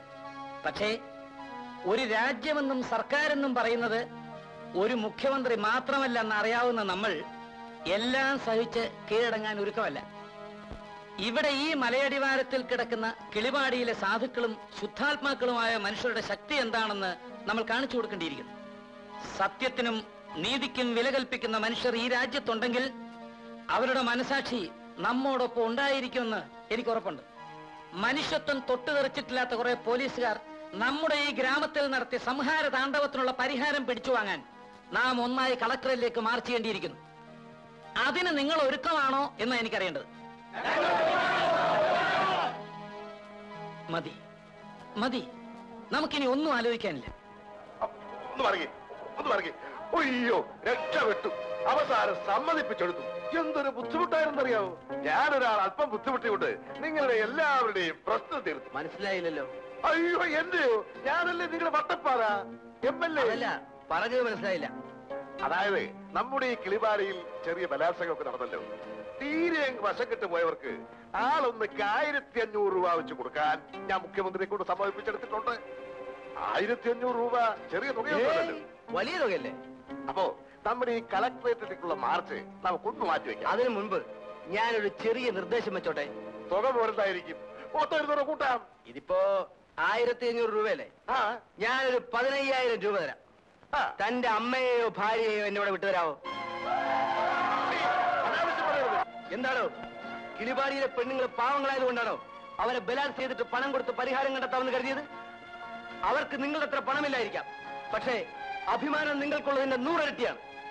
ഞങ്ങൾ കളക്ടറേറ്റ് മാർച്ച് നടത്തുന്നത് ഞങ്ങളുടെ പെണ്ണുങ്ങളെ ബലാത്സംഗം ചെയ്തതിന്റെ കൂലി വാങ്ങിക്കാനല്ല. കൂറ്റൻ കാളകളെ പോലെ പാതിരാക്കി ഞങ്ങളുടെ വീടുകൾ കടന്നു വന്ന് എല്ലാം ചവിട്ടി മതിച്ച പോലീസ് കാളകളെ പിടിച്ചു കെട്ടാൻ കഴിയാത്ത മനുഷ്യത്വമില്ലാത്ത മന്ത്രിമാരുടെ ഭരിച്ചുകൂടാ? അതവരെ ബോധ്യപ്പെടുത്താനാണോ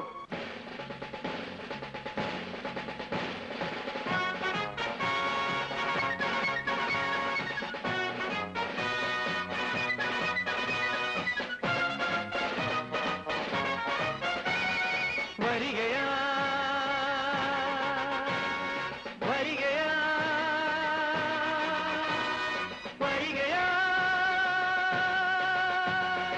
ഇവിടെ മണ്ണിൻ ചരിത്രമെഴുതും മനുഷ്യ സ്നേഹികളെ. രക്തം കൊണ്ടിതിഹാസം തീർക്കാൻ വരുന്ന ശക്തിരാ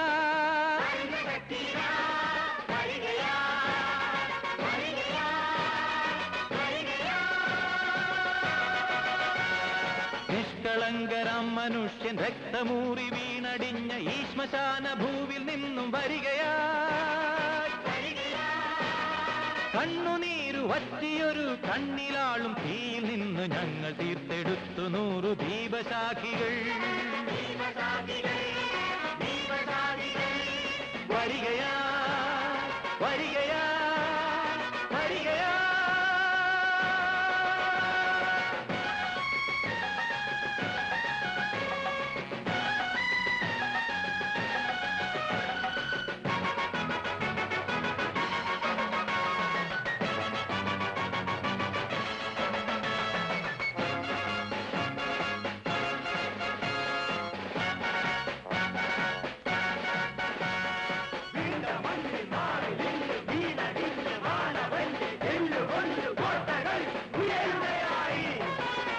മണ്ണിൻ മാറിലിന്നു വീണടിഞ്ഞ മാനവന്റെ എല്ലുകൊണ്ട് കോട്ടകൾ ഉയരുകയായി. കാക്കി ചുറ്റിലാത്തി തൂക്കി കാവൽ നിന്ന കാട്ടുപോത്തിൻ കോട്ട തേടി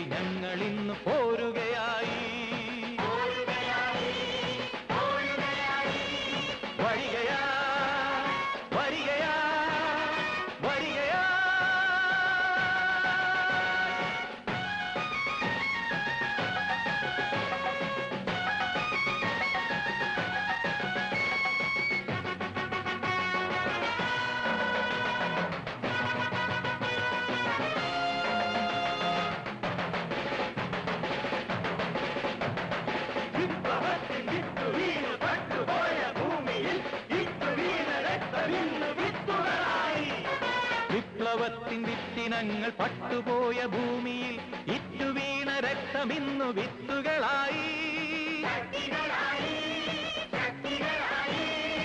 ആളിയാളി മണ്ണിതിൽ പടരും അഗ്നിജ്വാലയിൽ വെന്തടിഞ്ഞു വീണിടട്ടെ ദുഷ്ടശക്തികൾ.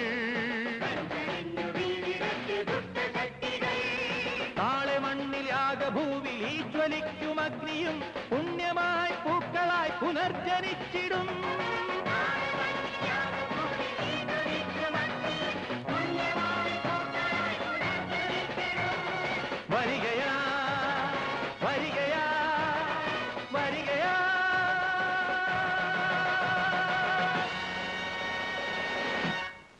വട്ടപ്പാറ ഇത്ര വിഷമിക്കാൻ എന്തുണ്ടായി?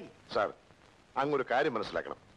നമ്മുടെ പാർട്ടിയുടെ വളർച്ചയ്ക്ക് വേണ്ടി നിലനിൽപ്പിന് വേണ്ടി പുരോഗതിക്ക് വേണ്ടി ഞാൻ ഒരുപാട് കഷ്ടപ്പെട്ടിട്ടുണ്ട്. ഒരനുസരണയുള്ള പാർട്ടി പ്രവർത്തകനായിരുന്നു ഞാൻ. പിരിവിനെന്ന് പറയുമ്പോൾ പിരിവിനും എന്തിന് പാർട്ടിയുടെ എല്ലാ പ്രവർത്തനങ്ങൾക്കും അന്നും ഇന്നും ഞാൻ മുന്നിൽ തന്നെയാണ് നിന്നിട്ടുള്ളത്. അതിനുവേണ്ടി പല മുതലാളിമാരുടെയും മുമ്പിൽ എന്റെ സ്ഥാനം പോലും വിട്ട് ഞാൻ പല്ലിളിച്ച് നിന്നിട്ടുണ്ട്. ഇനി എനിക്കതാവില്ല സാർ. മറ്റെന്തിനേക്കാൾ നമുക്ക് വലുത് ജനങ്ങളാണ്. നമുക്ക് വോട്ട് തന്ന് ഇവിടെ എത്തിച്ച നമ്മുടെ ജനങ്ങൾ. ഇവിടുത്തെ പോലീസ് ആ ഗ്രാമത്തിൽ കാട്ടിക്കൂട്ടിയ അതിക്രമങ്ങൾ ഞാൻ നേരിട്ട് കണ്ടതാണ് സാർ. അതുകൊണ്ട് നമുക്ക് വേണ്ടി ജനങ്ങൾക്ക് വേണ്ടി പാർട്ടിക്ക് വേണ്ടി സാർ വേണ്ടത് ഉടനെ ചെയ്യണം. കിളിപാടിക്കാരുടെ കളക്ടറേറ്റ് മാർച്ചിനെ കുറിച്ച് അങ്ങക്ക് എന്താ പറയാനുള്ളത്? എന്ത് പറയാൻ? പത്രക്കാരായ നിങ്ങളൊന്ന് മനസ്സിലാക്കണം. പരിപാവനമായ ജനാധിപത്യം പരിപാവനമായി കാത്തു സൂക്ഷിക്കുന്ന മഹത്തായ ഒരു രാഷ്ട്രമാണ് നമ്മുടേത്. ഇവിടെ ആർക്കും എവിടെയും മാർച്ച് നടത്താം. പക്ഷെ അവരാവശ്യപ്പെടുന്നത് ഈ മന്ത്രിസഭയുടെ രാജിയാണല്ലോ. അതവരുടെ വെറും ഒരു ആഗ്രഹം മാത്രമല്ലേ? ഈ മന്ത്രിസഭ രാജിവെച്ചതുകൊണ്ട് അവർക്ക് എന്ത് പ്രയോജനം? രാജിവെച്ചാൽ അവരുടെ സ്ത്രീകളുടെ കവർന്നെടുത്തു എന്ന് പറയുന്ന ചാരിത്രം തിരിച്ചു കിട്ടുമോ? പറയണം. പോലീസുകാർ പാതിരാത്രിയിൽ കിളിവാടിയിലെ വീടുകളിൽ കയറി ആക്രമണം കാണിച്ചതിനെ കുറിച്ച് എന്തു പറയുന്നു? അബദ്ധം പറയാതിരിക്കൂ. പോലീസുകാർ സമാധാന പാലകരാണ് അവർ ഒരിക്കലും ആക്രമണം കാണിക്കില്ല. ഞാൻ ആരോപണം നിഷേധിക്കുന്നു. അങ്ങ് ആഭ്യന്തര വകുപ്പ് ഏറ്റെടുത്തതിന് ശേഷമാണ് ക്രമസമാധാന രംഗം ഇത്ര വഷളായതെന്ന് പരാതിയുണ്ടല്ലോ ഉദാഹരണം പോലീസ് സ്റ്റേഷൻ തീവയ്ക്കുക മീശ പറിക്കുക തുണി ഉരിയുക ആദിവാസികളെ മദ്യം കൊടുത്ത് നൃത്തം ചെയ്യിക്കുക അന്ധവിദ്യാർത്ഥികളെ മർദ്ദിക്കുക തുടങ്ങിയവയൊക്കെ. ചേച്ചി ഞാൻ ഈ വകുപ്പ് ഏറ്റെടുത്തതിന് ശേഷമാണ് ക്രമസമാധാനം എന്നൊന്ന് ഉണ്ടായത് തന്നെ. ഇത്തരം സില്ലി ക്വസ്റ്റ്യൻസ് ചോദിക്കരുത്. പഴയ പോലീസ് മന്ത്രിയുടെ പരിചയക്കാരായ ചില പോലീസുകാർ പുതിയ പോലീസ് മന്ത്രി കൂടിയായ അങ്ങയെ താറടിക്കുന്നതിന് വേണ്ടി കിളിവാടിയിൽ മനഃപൂർവം അക്രമം നടത്തിയതാണെന്ന് പറഞ്ഞാൽ അങ്ങ് സമ്മതിക്കുമോ? കിളിവാടിയിൽ ആക്രമണം നടന്നിട്ടില്ലല്ലോ. അങ്ങനെയാണെങ്കിൽ എസ് പി ഐ സർക്കിളിനെയും സസ്പെൻഡ് ചെയ്ത് എന്തിനാണ്? അതാണ് നിങ്ങൾ മനസ്സിലാക്കേണ്ടത്. യഥാർത്ഥ ജനാധിപത്യം എന്ന് പറയുന്നത് അതാണ്. ആരോപണം ഉണ്ടായപ്പോൾ ആരോപണം ശരിയോ തെറ്റോ എന്ന് നോക്കാതെ ആരോപണ വിധേയരായവരെ സസ്പെൻഡ് ചെയ്തുകൊണ്ട് ഞാൻ തന്നെ കിളിപാടിയിൽ പോയി നേരിട്ട് അന്വേഷിക്കാമെന്ന് വെച്ചു. ഒരു അന്വേഷണ കമ്മീഷനെ വെച്ചാൽ അത് പ്രഹസനമാണെന്നും കളിപ്പീരാണെന്നും ഒക്കെ പറയും. അതുകൊണ്ടാണ് ഞാൻ തന്നെ നേരിട്ട് പോകാമെന്ന് വെച്ചത്. എവിടെയെങ്കിലും മുഖ്യമന്ത്രി നേരിട്ട് പോയി അന്വേഷണം നടത്തിയതായി ചരിത്രമുണ്ടോ? ഇതിനേക്കാൾ വലിയ ജനാധിപത്യം എന്താണ് വേണ്ടത്? പറയൂ. കിളിപ്പാടി എന്ന ഗ്രാമത്തിൽ നടന്നതായി പറയപ്പെടുന്ന സംഭവങ്ങളെക്കുറിച്ച് നേരിട്ട് അന്വേഷിക്കാൻ നമ്മുടെ ബഹുമാനപ്പെട്ട മുഖ്യമന്ത്രി ഇന്ന് കിളിപ്പാടി സന്ദർശിക്കുന്നതാണ്.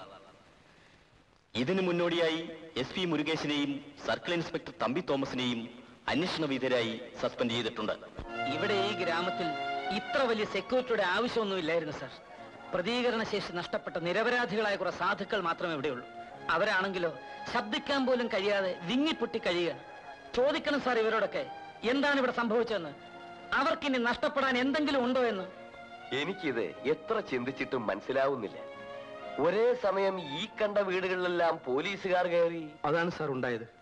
ഞങ്ങൾ പോലീസുകാർ വരുമെന്ന് ഭയന്ന് അവരിൽ നിന്ന് രക്ഷപ്പെടാനായി രാത്രി മുഴുവൻ ആ കാണുന്ന കുന്നിന്റെ പിറകിലുള്ള പാറക്കൂട്ടങ്ങൾക്കിടയിൽ ഒളിച്ചിരിക്കുമ്പോൾ ഇവിടെ ഞങ്ങളുടെ അമ്മമാരും പെങ്ങന്മാരും ഭാര്യമാരും എല്ലാം ക്രൂരമായി കുട്ടിയെങ്കി വരൂ. ഇവർ പറയുന്നതെല്ലാം ശരിയാണോ? പോലീസുകാർ നിന്നോട് ക്രൂരമായി പെരുമാറിയോ? അവർ കുട്ടിയെ കയറി പിടിക്കാൻ ശ്രമിച്ചോ? അവർ കുട്ടിയെ റേപ്പ് ചെയ്തു. എടി അവർ തന്നെ റേപ്പ് ചെയ്തോന്ന്. ബലാത്സംഗം ചെയ്തോന്ന്. നിങ്ങൾക്കറിയണോ എല്ലാം? നിർബന്ധമാണെങ്കിൽ പറയാം. എങ്ങനെ പറയാം? ഓരോ നിമിഷങ്ങളിലും എന്താണ് സംഭവിച്ചതെന്ന്? ജനിച്ച നാൾ മുതൽ തപസ് ചെയ്ത് കാത്തു സൂക്ഷിച്ച ഞങ്ങളുടെ സ്ത്രീത്വം വെറും ഒരു നിമിഷം കൊണ്ട് എങ്ങനെ നശിച്ചുവെന്ന് അറിയണോ നിങ്ങൾക്ക്? അത് കേട്ടാലും ഒരു സിനിമ കാണുന്ന ലാഘവത്തോടെ നിങ്ങൾ അടുത്ത ചോദ്യം ചോദിക്കുമെന്ന് എനിക്കറിയാം. ബലാത്സംഗം നടന്നു എന്നതിന് സർട്ടിഫിക്കറ്റ് ഉണ്ടോ എന്ന്. എത്ര തന്റെയുള്ള പെണ്ണിനും സ്വന്തം മാതാപിതാക്കളുടെയും സഹോദരങ്ങളുടെയും നാട്ടുകാരുടെയും മധ്യത്തിൽ ഉത്തരം നൽകാനാവാത്ത ചോദ്യങ്ങൾ. ഇല്ല സാർ. അവിവാഹിതയായ ഇവിടുത്തെ ഒരു പെണ്ണിനും ഈ ചോദ്യങ്ങൾക്ക് ഉത്തരം പറയാൻ കഴിയില്ല. ഇവരാരും തങ്ങളുടെ ചരിത്രം നഷ്ടപ്പെട്ടുവെന്ന് പരസ്യ പ്രസ്താവന നടത്താനും പോകുന്നില്ല. പുറം ലോകം എന്തെന്നറിയാത്ത ഒരു തീവണ്ടി പോലും കണ്ടിട്ടില്ലാത്ത പാവപ്പെട്ടവരാണ് ഈ നാട്ടിലുള്ളത്. അവർക്ക് പൗരാവകാശങ്ങളെ പറ്റിയോ നിയമങ്ങളെ പറ്റിയോ ഒന്നും ഒന്നും അറിയില്ല സാർ. ഞങ്ങൾക്ക് നഷ്ടപ്പെട്ടത്. ഇനി ആര് വിചാരിച്ചാലും തിരിച്ചു തരാനാവില്ല. ഇല്ല അതാവില്ല. നിങ്ങൾ ഈ പറയുന്നതൊക്കെ ശരിയാണെങ്കിൽ ശരി തന്നെയാണോ അങ്ങനെയാണെങ്കിൽ ആ പോലീസുകാരെയൊക്കെ വരുത്തി ഒരു ഐഡന്റിഫിക്കേഷൻ പരേഡ് നടത്താം. നിങ്ങൾക്ക് തന്നെ കുറ്റവാളികളെ കണ്ടുപിടിക്കാമല്ലോ. എന്താ? അത് പോരെ. വേണ്ട. അത് വേണ്ട സാർ. എന്നെ നശിപ്പിച്ചവനെ എനിക്കറിയാം. ഒരിക്കലും മറക്കാൻ പറ്റാനാവാത്ത ഒരടയാളം ഞാൻ അവന് നൽകിയിട്ടുണ്ട്. പക്ഷേ ഇവരുടെ കാര്യം അതല്ല. ഇരുട്ടിൽ തങ്ങളെ നശിപ്പിക്കാൻ എത്തിയ മൃഗങ്ങളുടെ കാക്കിത്തോലിന്റെ പരിവരിപ്പ് മാത്രമേ ഇവർക്കറിയൂ. വേണ്ട സാർ ഇവർക്ക് ആ മൃഗങ്ങളെ തിരിച്ചറിയാൻ കഴിയില്ല. ഇനി ഇങ്ങനെയുള്ള നാടകങ്ങൾ നടത്തി ഞങ്ങളുടെ മനസ്സിലേറ്റ മുറിവിൽ വീണ്ടും കുത്തി നോവിക്കാതിരുന്നാൽ മതി. കൊടുങ്കാറ്റ് വീശിയ ഒരു ഭീകര രാത്രിയിൽ ഞങ്ങൾ കണ്ട ഒരു പേടി സ്വപ്നമായിരുന്നു. അത് എന്ന് വിശ്വസിക്കാൻ ശ്രമിക്കുകയാണ്. ഞങ്ങൾക്കൊരു അപേക്ഷയുള്ളൂ ഇനി ഇത് ആവർത്തിക്കരുത്. ഒരിടത്തും നിരപരാധികളായ പെൺകുട്ടികളുടെ ചാരിത്രം കവർന്നെടുക്കാൻ ഇവിടുത്തെ പോലീസിനെ അനുവദിക്കരുത്. എന്തോ? എന്റെ പോലീസിനെ പറ്റി എനിക്ക് ഒരു സംശയവുമില്ല. എങ്കിലും ഞാൻ അന്വേഷിക്കാം. വേണ്ടതെല്ലാം ചെയ്യാം. എന്താ? വരട്ടെ.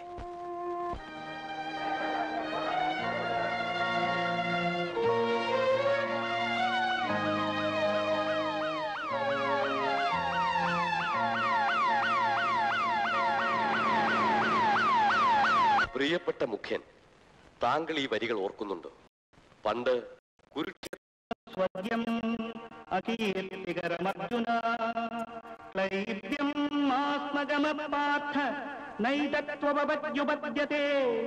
ക്ഷുദ്രം ഹൃദയ ദൗർബല്യം